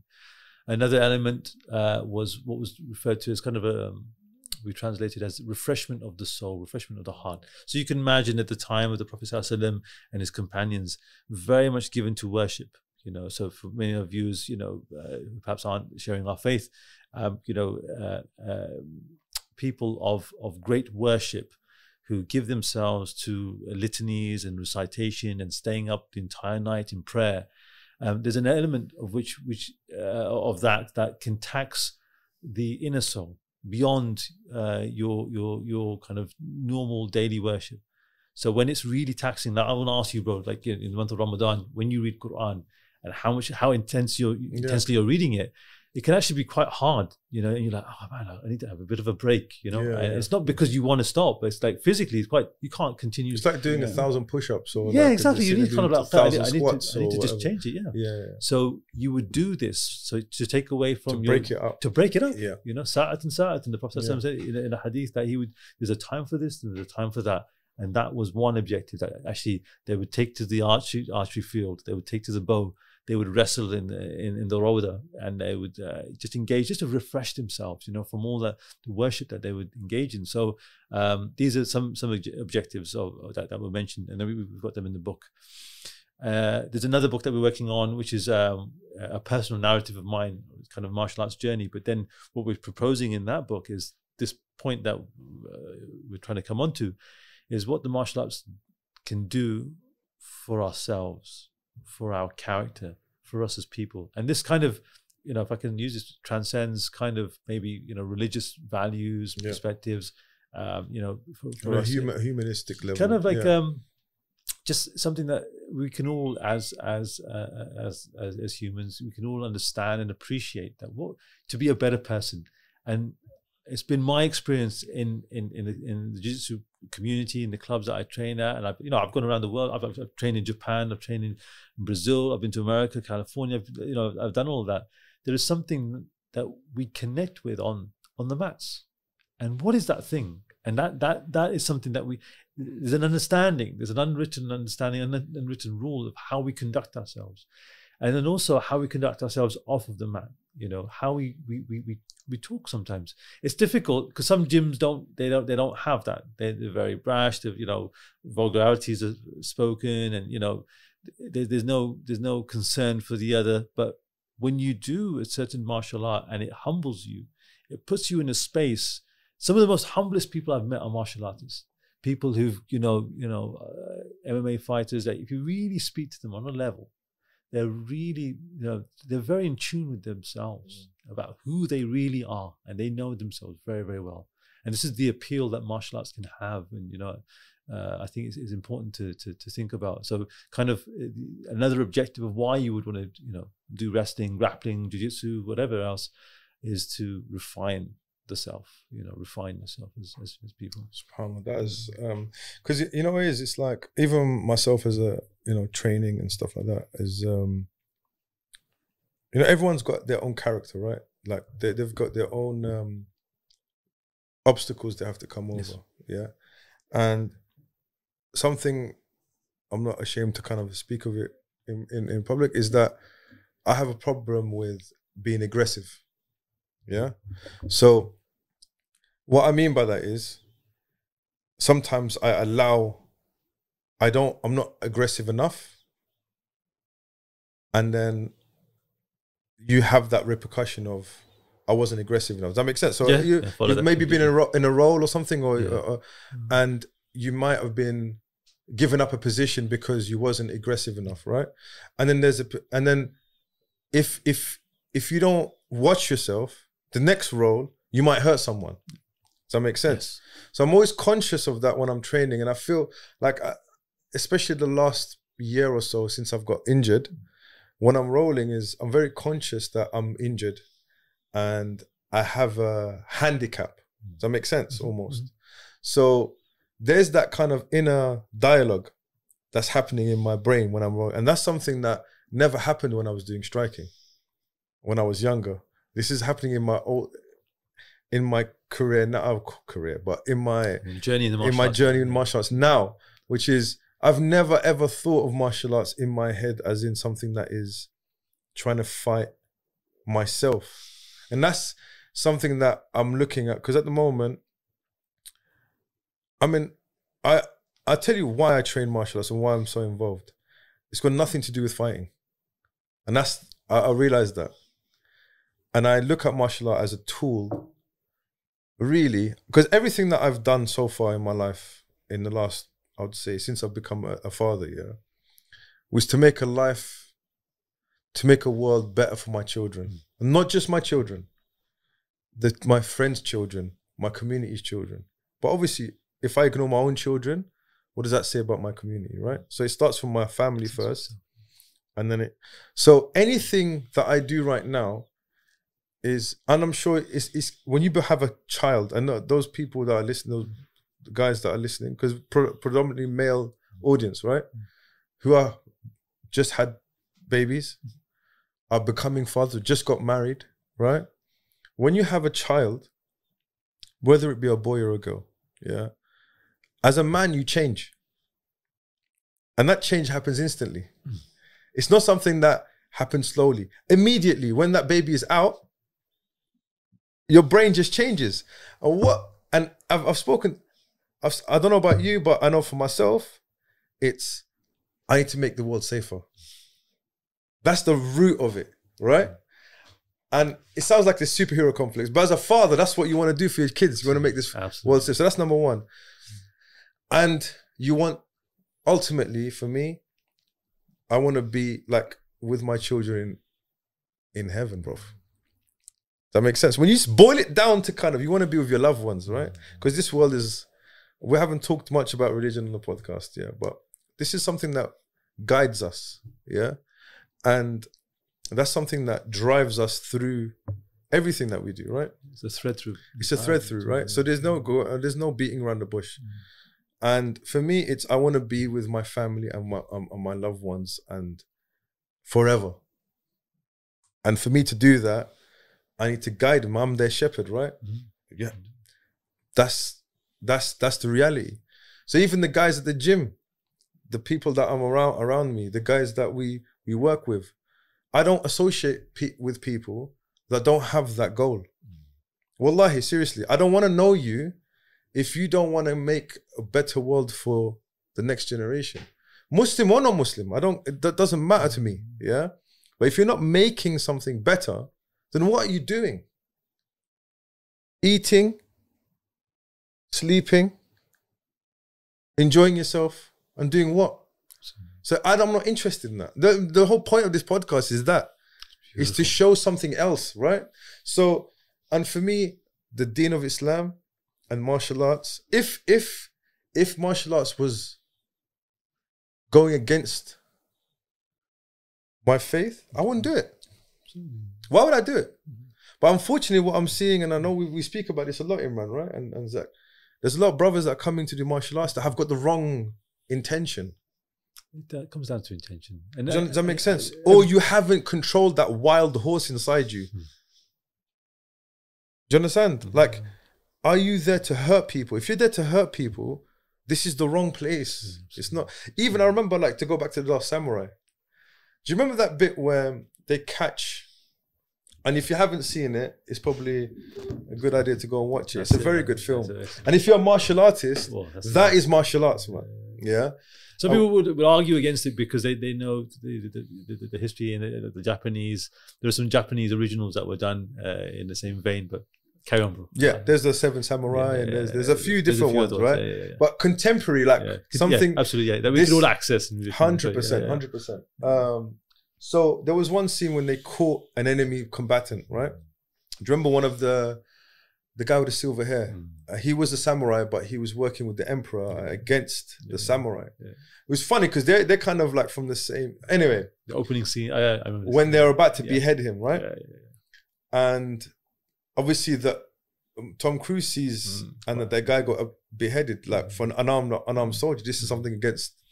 Obviously, in the end, you find out that he asked for it because yes. for them it's an honor, honor to die. To die yeah. And he and imagine he, the guy that beheaded him, it was an honor for him. Mm. Does that make sense to offer him that honorable death?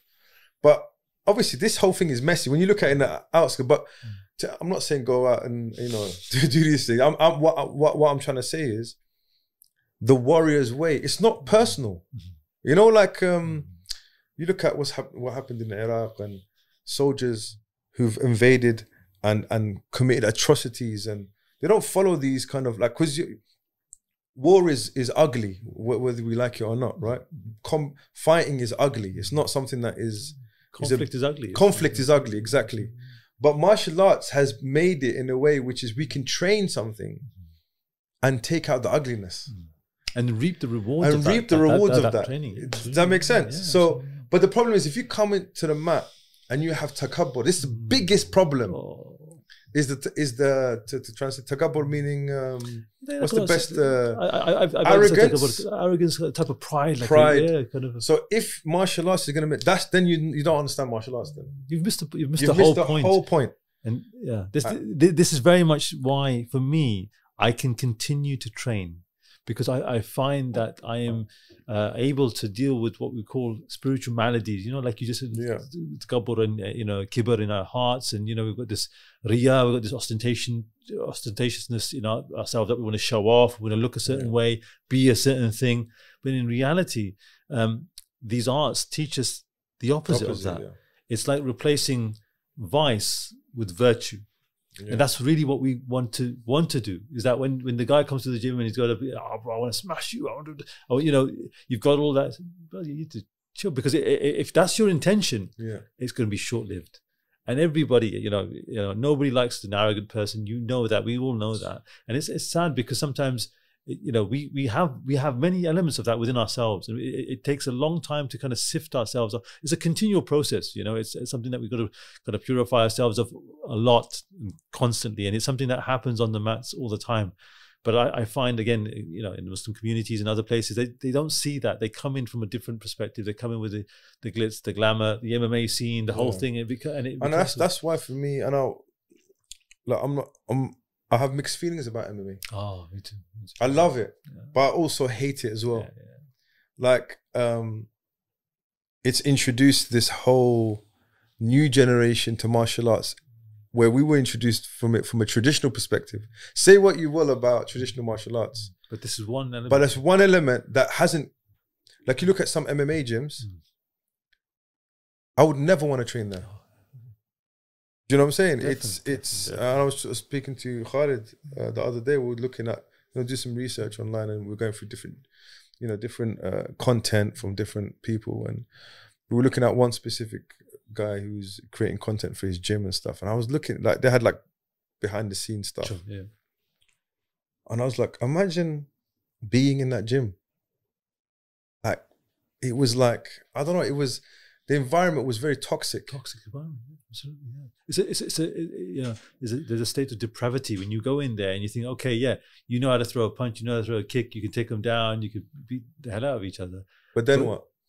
Beyond that, You- you know, you're you're, you're mean, horrid, you know, disgraceful people. You, you know, like your your your your your your moral compass is skewed because you've not taken on the traditional values of what martial arts traditionally have always upheld, and that's that that that is so critical to how yeah. I think you know not just Muslims but everybody should be approaching martial arts is with with the, with these these kind of thoughts and understanding traditional values and understanding that it, it, is certainly a, a way into the self you know like knowing yourself truly and becoming better people. Honestly you know it's just as simple as that. You know you can go to the gym. You know I went to California and I was there and I went to some of the biggest names in jiu-jitsu their clubs and I went there.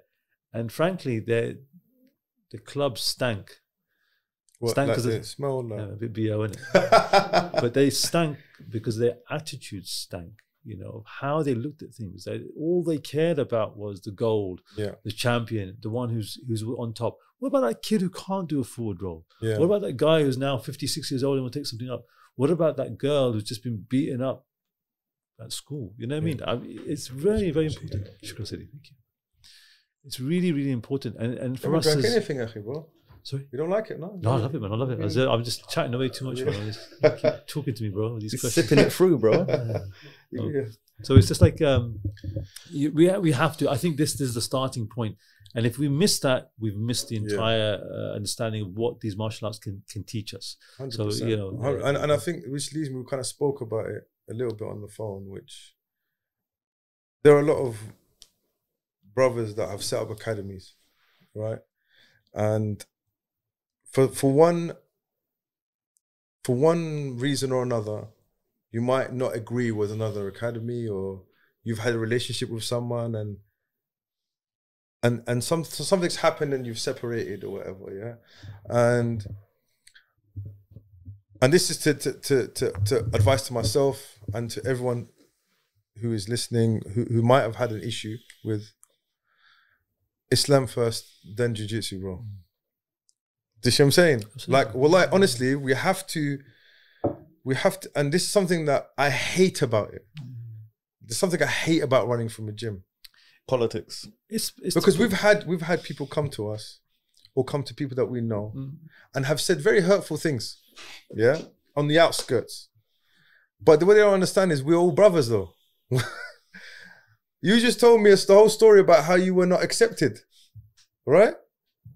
How you never felt welcome, and when now we've created space where we are welcome. Now we're looking at things that we're we're trying to make other people. It just doesn't make sense to me. I, I think it's And it's so. I was speaking to a brother yesterday. I think um, uh, he wants to come train with us, but he's he, he- doesn't want to upset his his teacher and this and that. And I was like, you know what? This it's like it has to stop somewhere, isn't it? We've So- become like this hundred year war where over what? Nothing. So a message then maybe to instructors yeah? Yeah. a message is that in as much as we can let's not inherit the sectarianism of what we have witnessed ourselves Yeah. look man I, you know, I came from Carlson Gracie team it was very much you know our way or you know no other clubs would be and it's it's there it's But, I- but within- can I say something, yeah. uh, Nizar? Sorry to cut No, you up. Well, what? Because I wanted to kind of have rivalry. Well, there's nothing wrong with that. competitive yeah competition is important You Yeah, know what? you do, yeah. But don't like there needs to be some sort of um but even like you look at those old films where they go to battle, right? Mm. And they, they there's two, you know, like they, they, they have a civil conversation, Yeah, right? And then when it's time to go, you go in it. It, yeah. But like that that's not even happening. no. And on top of that, what's happening is just how how do you say it? Um, what's the word I'm looking for? Just unnecessary kalam, bro. yeah absolutely It's unnecessary talk that is just gonna first is Allah is Allah gonna be happy with you by by, by doing what just can you forgive that person even that person wronged you yeah? Can you forgive that person? Okay you can forgive that person but maybe you can't be their friend. Fine that's not a That's problem either. Yeah, cool. you can you go there but but don't say bad words about that person. And even Keep if it- someone comes to you and tells you something about someone, say, I don't want to hear I don't want to hear don't it. hear it. don't engage don't, in that bring talk. that into that. you might not agree with that person but remember mm. They bleed just like you and and also there's a brotherhood here which is important There's a huwa that A we, we have to uphold. which- yes. this, you know, this is a priority. You know, of anything else, we could drop everything, drop the belts, drop the Yeah. belt. That that That's that the brotherhood priority. is really much. and that hurts me bro because I've heard I'm not involved in all that right Yeah, That's good. I don't, I don't want, I don't want to hear it, Yeah, and I don't want to think. Yeah. But sometimes we get word back. So, you know, some people love to bring word back, yeah. And obviously, it hurts your feelings and all this type of stuff. But you know what? You think to yourself, I want all of us to be together, man. Mhm. I don't want us to be separate, man. Do you understand? Like we're separate, and and mashallah, this martial arts in the UK, especially in London, is flourishing Flourishing, yeah. amongst our communities. There's guys that are, mashallah, getting there, you know, ranked and you know, doing really good things. And Everything. Why are we kind of looking for I, ways I- of? I, I think it, stems down to a lot of personal insecurities. There are some things that you know, like, and I had that. I remember, I remember very early on, like you know, uh, one of my friends saying to me, "Oh man, you know, you're, you're the first Muslim this, and you're the first brown that, Yeah. and the Indian this, and that." And I, I kind of, I didn't like that kind of talk. of like, let's leave that. We're just, we're all Yeah. one. We're all just, you know, whatever achievements we have, and when we have those insecurities of like being a certain thing and then somebody then encroaching on our space. So you know, another brother opens up a gym down the corner. Oh, bro, what are you doing? You know, it's like, Yeah. well, why is that a problem? You know what I mean? Let- let- let- I think if we have an insecurity about, you know, again, someone beating us, being better than us, that's something we have to get over. You know, we have But I think I think a lot of it stems from sometimes you're in a relationship with that person, right? Those are so- tough ones. Yeah. Those are the tough ones. Those are hard ones. So it yeah. becomes personal, right? And you have a relationship with that person, and it go like for for some reason or other you, you kind of separate. Okay, khalas, that's fine. Yeah. But and you can you don't have to see eye to eye. You can separate. But one thing that you should do is remember that's still your that's still your brother. Mm-hmm. Number one, you don't have to be their friend. You know when you get older, you know when you're young, you want everyone to like you, but if you don't, not everyone's gonna like you, No, bro. I like you. Get over it. Just accept that. That's standard, bro. I'm pretty sure there's people that watching me and think this guy's a fool, bro. But Ron's hands going up. but do you understand what I'm saying? No one, not everyone is gonna like you. Yeah, I understand. But could you hold your tongue for for the sake of Allah? Can you do that? Can you just not say a bad word about that person, or refrain from saying anything? Because even amongst the Sahaba, there's disagreements, bro. exactly. exactly. You can go, These are these examples that we should be looking Yeah. to. And if we can't accept them, then what but they're we gonna accept? united Yeah. on one thing, right? So that that's I think, and to take it out of the whole Islamic perspective, mm-hmm. even in jiu-jitsu, mm-hmm. There's this, and it's rife, Yeah. and I feel like we, a lot we should be affecting jiu-jitsu in a good way, not the jiu-jitsu affecting us in in, So, in so a bad when it touches us sense? and we've, we've embraced in jiu-jitsu, we should be now making it better so that actually, oh, you know, these guys have taken it on. And That's how, it. how they, you know, That's it. This now. this is it. So it's kind of like uh, it's something really close to my. I don't want. I want. I want people to be together, Yeah. not separate. It's a very, it's, it's a very noble thing, and I, I, I wish the same, bro. I I really want the same. Uh, it's, it's hard, and it takes a lot of self-sacrifice. It takes a lot of holding Yeah. your tongue, holding Sometimes your you have to just. The best thing to say is nothing. Nothing. I, I, there's a very, you know, a lot of my students and my friends, and oh, you don't, you don't have social media. You know, it's for this very Yeah, reason.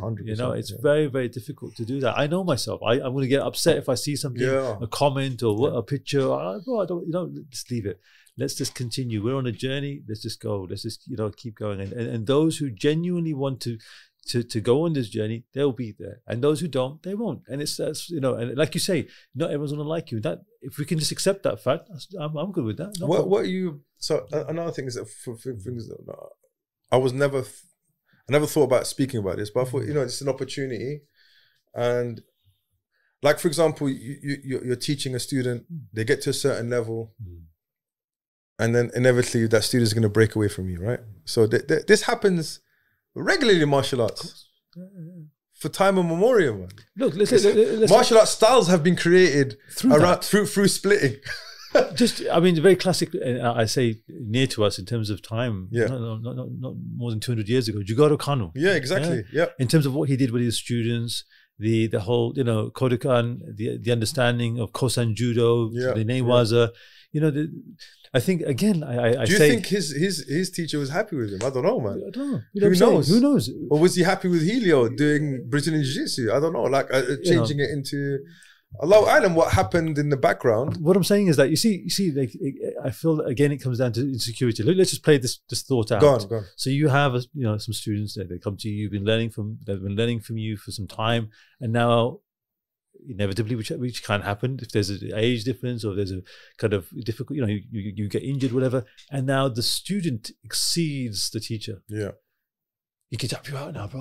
Oh, how's that happening? Yeah. Uh, how, how do you deal with that? And this is where again it comes into that insecurity. If you like, can I accept that? If I can't accept it, then it's a problem. And that, that's where I feel that a lot of times it, it, it's, it's where either students exceed the, the teacher. But then on the flip side, and I'm speaking to students now, is that we should also be uh, humble and acknowledge the value that our teachers give us. So just because now you're at a point where you can beat the teacher, doesn't mean that right. That's it. I want to move on and up. I don't. I don't need this guy. I- I've forgotten. You know. Mm. I think it's more than that, though, Nisar. You know, like I give you examples. So there's that element of Yeah. it, yeah. Yeah. Uh, but you didn't fall from a tree. Like my dad used to tell you didn't fall from a tree. Yeah, you came from somewhere, right? Mm. But to completely ignore what your your teachers done for you, and I think the modern game, where I have no problem with students training other places, and but there's a tarbiyah and how to do it. How to do. so- Do you know what I'm saying? Like, um, like how you should like because a teacher, okay, he's he's taking fees, right? Those fees doesn't mean that you own him. Those fees allow him to dedicate his time to teaching you, right? And whatever you're paying him is not enough. Any teacher, because what you don't see outside the classroom, he's sitting there, he's watching footage, he's speaking to other instructors, he's reading, he's he's thinking about his student, he's worrying about them. Are they being? It's like being a father, man. Being a coach is like being a father. I tell my kids, Coach Amir, he's like your dad. On the mat, he's your father, man. That that's whatever he says. Don't come to me. Don't ask me. He's your coach. So does it like would you abandon your father when you get to a certain age and and just completely disown him and think nothing of him. And This is it. Acknowledge his contribution to this your is life. it, bro? Yeah. Yeah, you're gonna go and live your own life and do your own thing. Your own thing. But do you get to a point where you dis, dis disown your father, man? Mm. And subhanallah, that's that's imp- and how are you gonna carry on your life? How, how how you what does that say about you as a person where you've just ignored completely everything that's happened mm-hmm. and all the good and sometimes people have this disability where they don't see they they don't see the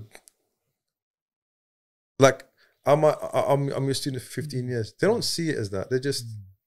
because one one year rolls into another rolls into another but you're building this relationship with that person. But maybe you're as a student in a, I remember someone telling me this. I can't remember who it was, but he said that in a relationship, there's always one person that loves the person more than the other. There's never you'll never have a relationship where one person loves equally the other person. Mm-hmm. You might love your wife more than she loves you, or might, your wife might love you more. You you will never know. You your kids might love you more than you love your kids. Do you understand what I'm saying to you? How are you gonna measure that, right? Not in my case, well, I'm sure the kids love me as well. I'm sure they love you. Uh, but but does that make sense? Yeah. So with your instructor, like even as an instructor, I'm sure you're the same. You might have more affection for your students than they have for you, There's a and that's the painful part about being a co- coach. There's a very, very, very personal investment that teachers make, and you will only know that, like parenthood, when you teach. Yeah, hundred. I'm sorry. There, there, are, there are a million one people. Well, I've been teaching now for 19 years, 18 years. Right? I was, you know, I was teaching at Carlson's as a as a blue belt. I was at Camberley Judo Club five years as a purple belt. Brown, uh, you know, I've been teaching a long time in, in, in jiu-jitsu in this country, and you know, two decades, right? And the investment, and I'm not saying this as, as a point of kind of fakhr of like, No, oh, I'm showing. I'm just trying to address the point of like understanding that you'll only really understand what it means to invest in someone when you, you do it yourself. When you're not when you're not teaching, when you're not giving back, when you're not doing a service to someone, it's very easy from the outside to say, oh bro, you didn't give me feedback after my last tournament. Oh, you didn't do this, or you didn't do that. The complaints are very quick to, okay, bro, why don't you come next week and take the session? Yeah, okay, do that now for months on end, and now make a decision as to what grade that person is, or how well they're doing, or what feedback you need to give them. You will only know that when you take the role of teaching, of instructing. And that's why it becomes a very personal investment into that person. Jiu-Jitsu, again, I'm just sorry to come back to my yeah. Go on, go on. Jiu-Jitsu is that because there's no one criteria for any given belt, it's at the discretion of the, the instructor. So that when you do give a, a belt, for me, uh, I'm speaking for myself, not any other instructor, it's a very personal thing. Personally, hundred Yeah? percent. I, I, I feel invested in that person. And this is why, again, it can go sour sometimes, and it does. But that that is a part of me going to that person, you know. And it's like, look, I, I you know, I, I, I, you know, I've given myself to you, and and I think it should be that way because it, it, it, then it, it empowers the other person to say, well, I've taken that instruction on, and now I'm going to do something with it. I'm either going to teach somebody else. I'm going to go do good myself. I'm going to learn how to defend myself. I've got a job out of it. You know, some guys are you know doormen. Some guys have become you know fighters. and Whatever the case is, but there's a personal investment that's made, and you will only appreciate that when you start teaching. I don't. I'm sorry. I will disagree with anyone who says, "Oh no, it's not. It's the guy's just paying a fee, and then you can just give it back." When you give from yourself, like you just gave the analogy of the father, it's like that. You're on the mats and you're there, and you oh, and you and there's no prouder moment when you you, you see your students do what you've asked them to do, or show a technique that you've shown, or pull it off in a, in a, in a competition or whatever, and then, or ultimately, ultimately, and it's a sour pill to swallow when they beat you with it. Yeah. and it's just it's just a fact of Never life. tap out your coach Yeah. out of respect. I- they, they'll know they know you've got them, but I- just don't tap you them know. I, I welcome it. You know, I'm my, my guys will go for it, and I, I I love that, and it, it's really important because it also helps us. Yeah, yeah, hundred percent. Grounds us a little bit. You know, we need we need that that that thing, but definitely it's a it's a very important Yeah, point. so it's it's um I I really wanted to talk about this subject more deeper because I feel like it's it's almost like a cancer in our in our in our community. Um, even in jiu-jitsu as well. Oh, right. To be honest with you, martial arts in general, you can take it all. But um I could talk to you for another two hours, bro. But I don't know how long we've been going. One hour forty five minutes, bro. I could go for another one hour forty five. Um, I know you came a long way.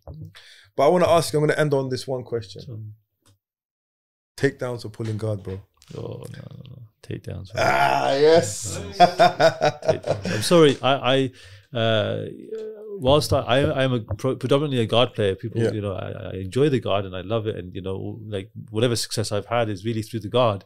Jiu-jitsu again, uh, the epitome of jiu-jitsu is the ability to fight off of your back. yeah, But you know, takedowns, you know, your ability to be on top, the game, wrestling, judo again, Ippon, Yeah. for me, uh, the skill, the tenacity, the ability to do that on uh, uh, a willing, able, and capable opponent, I think is just you know it just amazes me. You know, so Do you watch jiu-jitsu? Like, um, I watch. So I watch everything about Do you watch? Did you watch Polaris recently? yeah, yeah, it was about, yeah, yeah. What, Well, what were your thoughts on it? Like, Um, you have to remind me which one. I've, I've seen so. so, there was a lot of like sitting down. And I know there's been um since that podcast that we did about. I don't know if you watched the takedown one. No, no. Uh, I think it was yesterday, isn't it? Yeah, we released it yesterday. Yeah. Uh, we talked about about pulling guard and yeah. taking down and stuff. If you get a chance to watch Sure, it, yeah.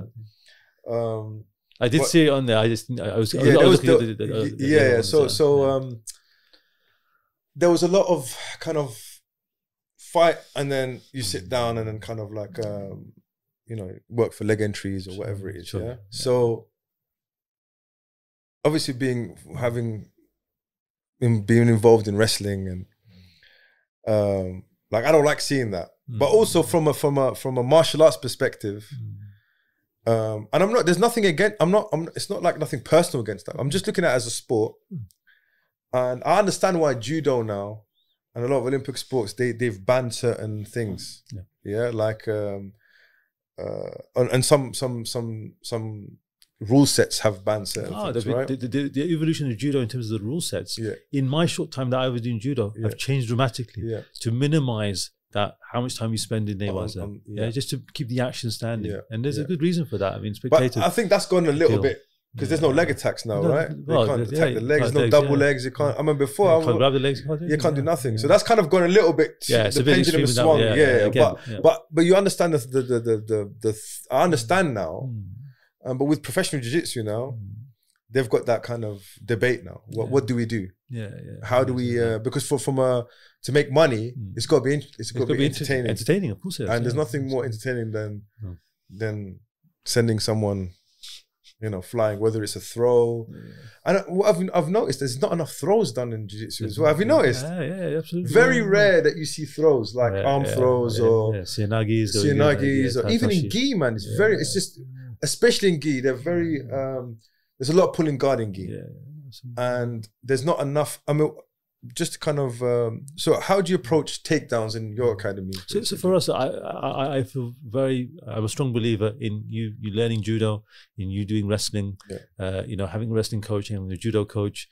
These are all uh, genres of grappling that we must appreciate. Yeah. And uh, for me, you're you're not a complete grappler unless you've done Yeah. tho- those those elements. So there's a stand up element and there's the ground element. But do you do you um when you roll, Yeah. for example, in your, in your Yeah. I'm not sure how you Yeah, set out your classes, yeah. but do you do you have like a a, segment we where have a start stand- from standing? yeah, man. Always start from standing, or Not like always. some rounds. So for us, because of space, we simply can't do that. It's just Right. not safe to do that. Yeah, right? yeah, yeah. we have an element, and this is something that I, I really enjoy, is that at the beginning of the class, and I learned this actually uh, when I was going to, to judo, judokas would actually do newaza as a warm up. So they go to the ground and say, okay, we're warming up now. Let's go newaza. So we're doing basically jujitsu, rolling on the ground. Yeah. And then we do the opposite. We say, actually, you know, what we're going to do, we're going to tachiwaza, we're going to do stand up. So basically, we- we're resting for about 25 minutes uh, before we start any of our jiu-jitsu. So it's all, you know, stand up, it's all uh, throws, judo, double leg, single leg. Uh, For me, it's it's pivotal that people. learn. I had a very interesting experience teaching somebody. So I was teaching in in, in, in Carlson Gracie Farnborough, and we had a blue belt that came there. He was a very capable young man. He came, you know, maybe 90 kg strong, and I insist that we do takedowns in every class for me. We always start with, you know, I put the guys against the wall. We'll do a few cues. So it's kind of, you know, king of the hill or whatever else we're doing. First one to the takedown. Simple. That's it. And to winner stays on, whatever the case is. And this guy came as a blue belt. And he couldn't take any of my white belts down to the point where the white belts were dumping him on his head. Whoa. And then he he cried. He went to the corner and he cried, and he was so upset. And he threw his blue belt on the floor. He was from a different club, and again, like we talked about before, I encourage people from different clubs Yeah. to come to. And I said, "What's wrong?" He goes, "I couldn't do anything here," and it was because there was an overemphasis on putting guard, and that was, that was such a failing on his part. He said, I, "I can't believe I've missed this whole. If you can't get them to the floor, what good is your jiu-jitsu? Yeah. You can't sit and pull guard. You know what I mean? I'm, I'm okay. You can. in, But in- it's in be frowned at. competition, It's, it's like see it again. It comes down to rule sets. See what what, what jujitsu at the moment promotes, and this is something that I, I would say to wrestlers is that you see what makes the appeal of jiu-jitsu greater than sometimes the appeal of wrestling is the emphatic end. In jiu-jitsu, it is emphatic, it is clear cut immediately who has won in a submission match. Yeah. When you when a submission is applied, there is no dispute as to who the victor is. In wrestling, and I watched the World you know, Olympics, I watched you know, the World Championships and and stuff, and it's so close. You know what I mean? Yeah. And the points and this and the pin, Unless and there's the a pin, and this is a pin, which is quite pin, rare. yeah. You know, Pins are uh, it's, it's rare, man. You know what I mean? Especially It's, at high level. it's so high level. It's just so neck and neck that it becomes the like Snyder Sadulaev. So, Did yeah, you watch yeah, it? yeah, It was watched like it. one point. one point. That was in it, and that was a four year wait. Yeah, and, yeah. and you and you're thinking, and, and as wrestlers, you would appreciate it. I would appreciate. Oh man, you see the technique? Yeah. You see the back? Oh, man, the arm drag. He went there. Went Yeah. to, but everyone else can't appreciate that, and that's why that appeal that happens. But then in the jiu-jitsu world or the submission world, the uh, the submission is king because of that. That beyond the takedown, that's when the action occurs. So But that's kind of. But the thing is, with points jiu-jitsu, that's being taken away now a little bit. a little bit, a little bit, Because uh, then- Then I mean, I, I- don't know about black belt level, Mm. but I'm looking about. I'm looking at you know white, blue, hmm. white and blue, maybe Mm. purple. Um, I don't know, man. Is Mm. is it something that, like, for example, Because they're, they're cutting to the chase. Because at the end of the day, if two guys are not very good at takedowns, let's just pull guard. yeah. Because- oh, I see what yeah, you're saying. that- you took it from the takedown element. Yeah, right. So, right, so from yeah, like a yeah. strategy perspective, we need, we need to, yeah, we need to get to the ground. That's how we're going to finish it. as That's we're what going to finish it, basically. Right, see, see, that's what I'm saying with the with the emphatic nature of submission, and more often than not, submissions are taken on the ground. They're not Yeah. really stand. There, there are a few that some Yeah. people do wrist locks and whatnot, but majority of submissions happen on the ground. So why you know why waste? This is this kind of thinking. Why waste time standing Yeah. up? And then the guard pull happens, and it becomes it's, it's not very entertaining. The leg entanglements, you go in there, guys rolling. What's he I don't mind the leg entanglement. Yeah. For me, you know, you know, like for argument's sake, yeah. Let's imagine there's no time. You know, like Helio Gracie time, Yeah, yeah. yeah, yeah. No time limits, Yeah, yeah, right? I can understand why they pull guard. Yeah. I get it. Yeah. yeah. yeah, yeah. But when you got five minutes, I feel like they, especially as a, I always I flip flop on this man. I'm I'm one way, then I go the other way. But yeah? what you've identified there is the very point is that it's rule set based. It's, Yes. it's, it's kind of competition based. If you've got a five minute round, you've got a 10 minute round, IBJJF, what, what are the rule sets? How are you working? And the, the strategy is applied in, in a very specific strategic way. Yeah. So you, you'll find people, black belts, who've been doing jiu jitsu decades, but their takedowns are awful. And then when they're put in a situation where, like you said, you've got five minutes, you've got a few minutes, and you get two points for takedowns, they fail. They, they I'm just pulling up Polaris's last Hmm. um, post. So they're talking Yeah. about, and this is this. Uh, every time I read someone's Mm. point of view, Mm. uh, so they they, they talked. Um, let's hear your thoughts. Athletes being forced to stand for the first period of the match. Mm. So they, they wanna they're thinking about doing this, right? So for me, as a as someone who loves wrestling, that's like really appealing. Then I read the comments. Mm. Yeah, I'm gonna read some comments to you. And they're all to be jiu- jiu-jitsu bias comments. Yeah. but but but it's interesting though. Mm. Like so, okay, so um, no, they don't. Bec- they don't stand because they have rubbish stand up. I use another. I've, I've replaced the word. Right. Making them stand is even more boring than the immediate sit. because that's 'cause you don't Because know if you've got rubbish stand up, then no one wants to watch two rubbish guys. Agreed. Does that make sense? So I, yeah. that I was like, you know what, that makes sense. But how are you going to move the game forward, isn't it? How are you going to The next them? Generation- How, how then do you make those guys have good takedowns? exactly yeah so then it goes uh it goes be 100% harsh with stalling calls instead of doing that Does that makes sense so like i get that bit so instead of actually forcing them to take downs Yeah. if they stall Yeah. make the, so if the guy's sitting there and the guy's not willing to engage make them both stand up again. Yeah, yeah so that that makes sense again instead of forcing, I mean, them if you look at uh, the ADCC rules, so ADCC is a is the submission wrestling. There's, Yeah. no, there's no gi. Uh, they have that kind of thing. The first five minutes, there are no points. There's penalized. There's no. I mean, okay, let's go into the points where you, you get penalized First for minute, pulling. sorry. First five minutes First of a ten five minute round. There are no Ten- points. 10 minute round Uh, yeah, mad, Yeah, yeah, and then you know eh, eh, when you go into the points time, yeah uh, you get penalized for pulling guard because then there's you know eh, I think also we have to look at it That's from a from a combative combative element is that pulling guard represents nothing of a real combat situation. yeah yeah, Yeah. So that for me is although I'm a guard player, I'm, I'm you know put my hands up. I'm saying what what does that represent of anything? If you were to you know if if I look if I say this to my students all the time, if I was in prison, God protect us. Yeah. And you only had one hour of training. Okay, Yeah. what type of exercise would you do? If you had only one hour of, of, of grappling training, what would you would you work on? Would it be guard pulling? No. No. Yeah. So, uh, as in, we, we have to evolve ourselves as as, as, as pure grapplers and, Right. and see ourselves through the whole spectrum of, of grappling.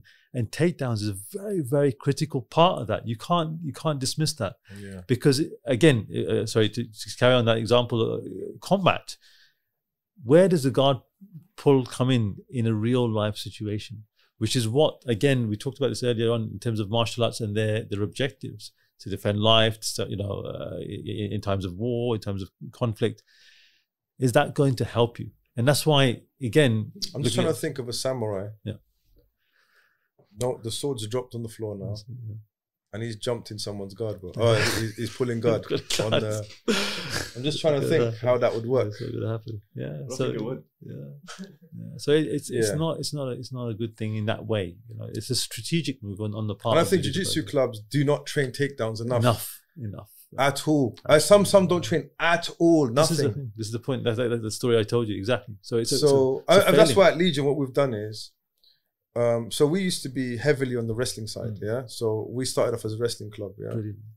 Uh, we've always jiu-jitsu's always been. We've we've had. I don't know if you Gabriel from GFT. Yeah, yeah, You know Gabriel, yeah. so- he he, he coached with us. We had our best, mashallah. We had Viking uh, from Glorious Viking Grapplers, Wong, yeah. Viking Wong, Yeah. yeah. Um, so we've had a few um, jiu-jitsu guys, and uh, now obviously Amir and Coach Khalid and Coach Sham, they're teaching now.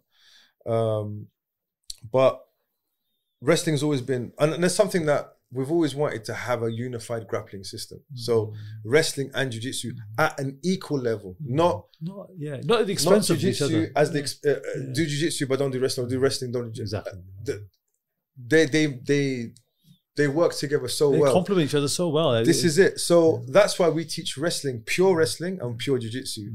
Now the thing is, it's since the last competition was how do you stitch that together now? So now, now it's kind of we're working on, you know, stitching those things together properly. Like which because obviously there's certain things in wrestling you you would never do. In, You wouldn't in- do, yeah, it wouldn't help you. Yeah, like for example, um, I was, the, the the threat of the guillotine from double legs. Yeah.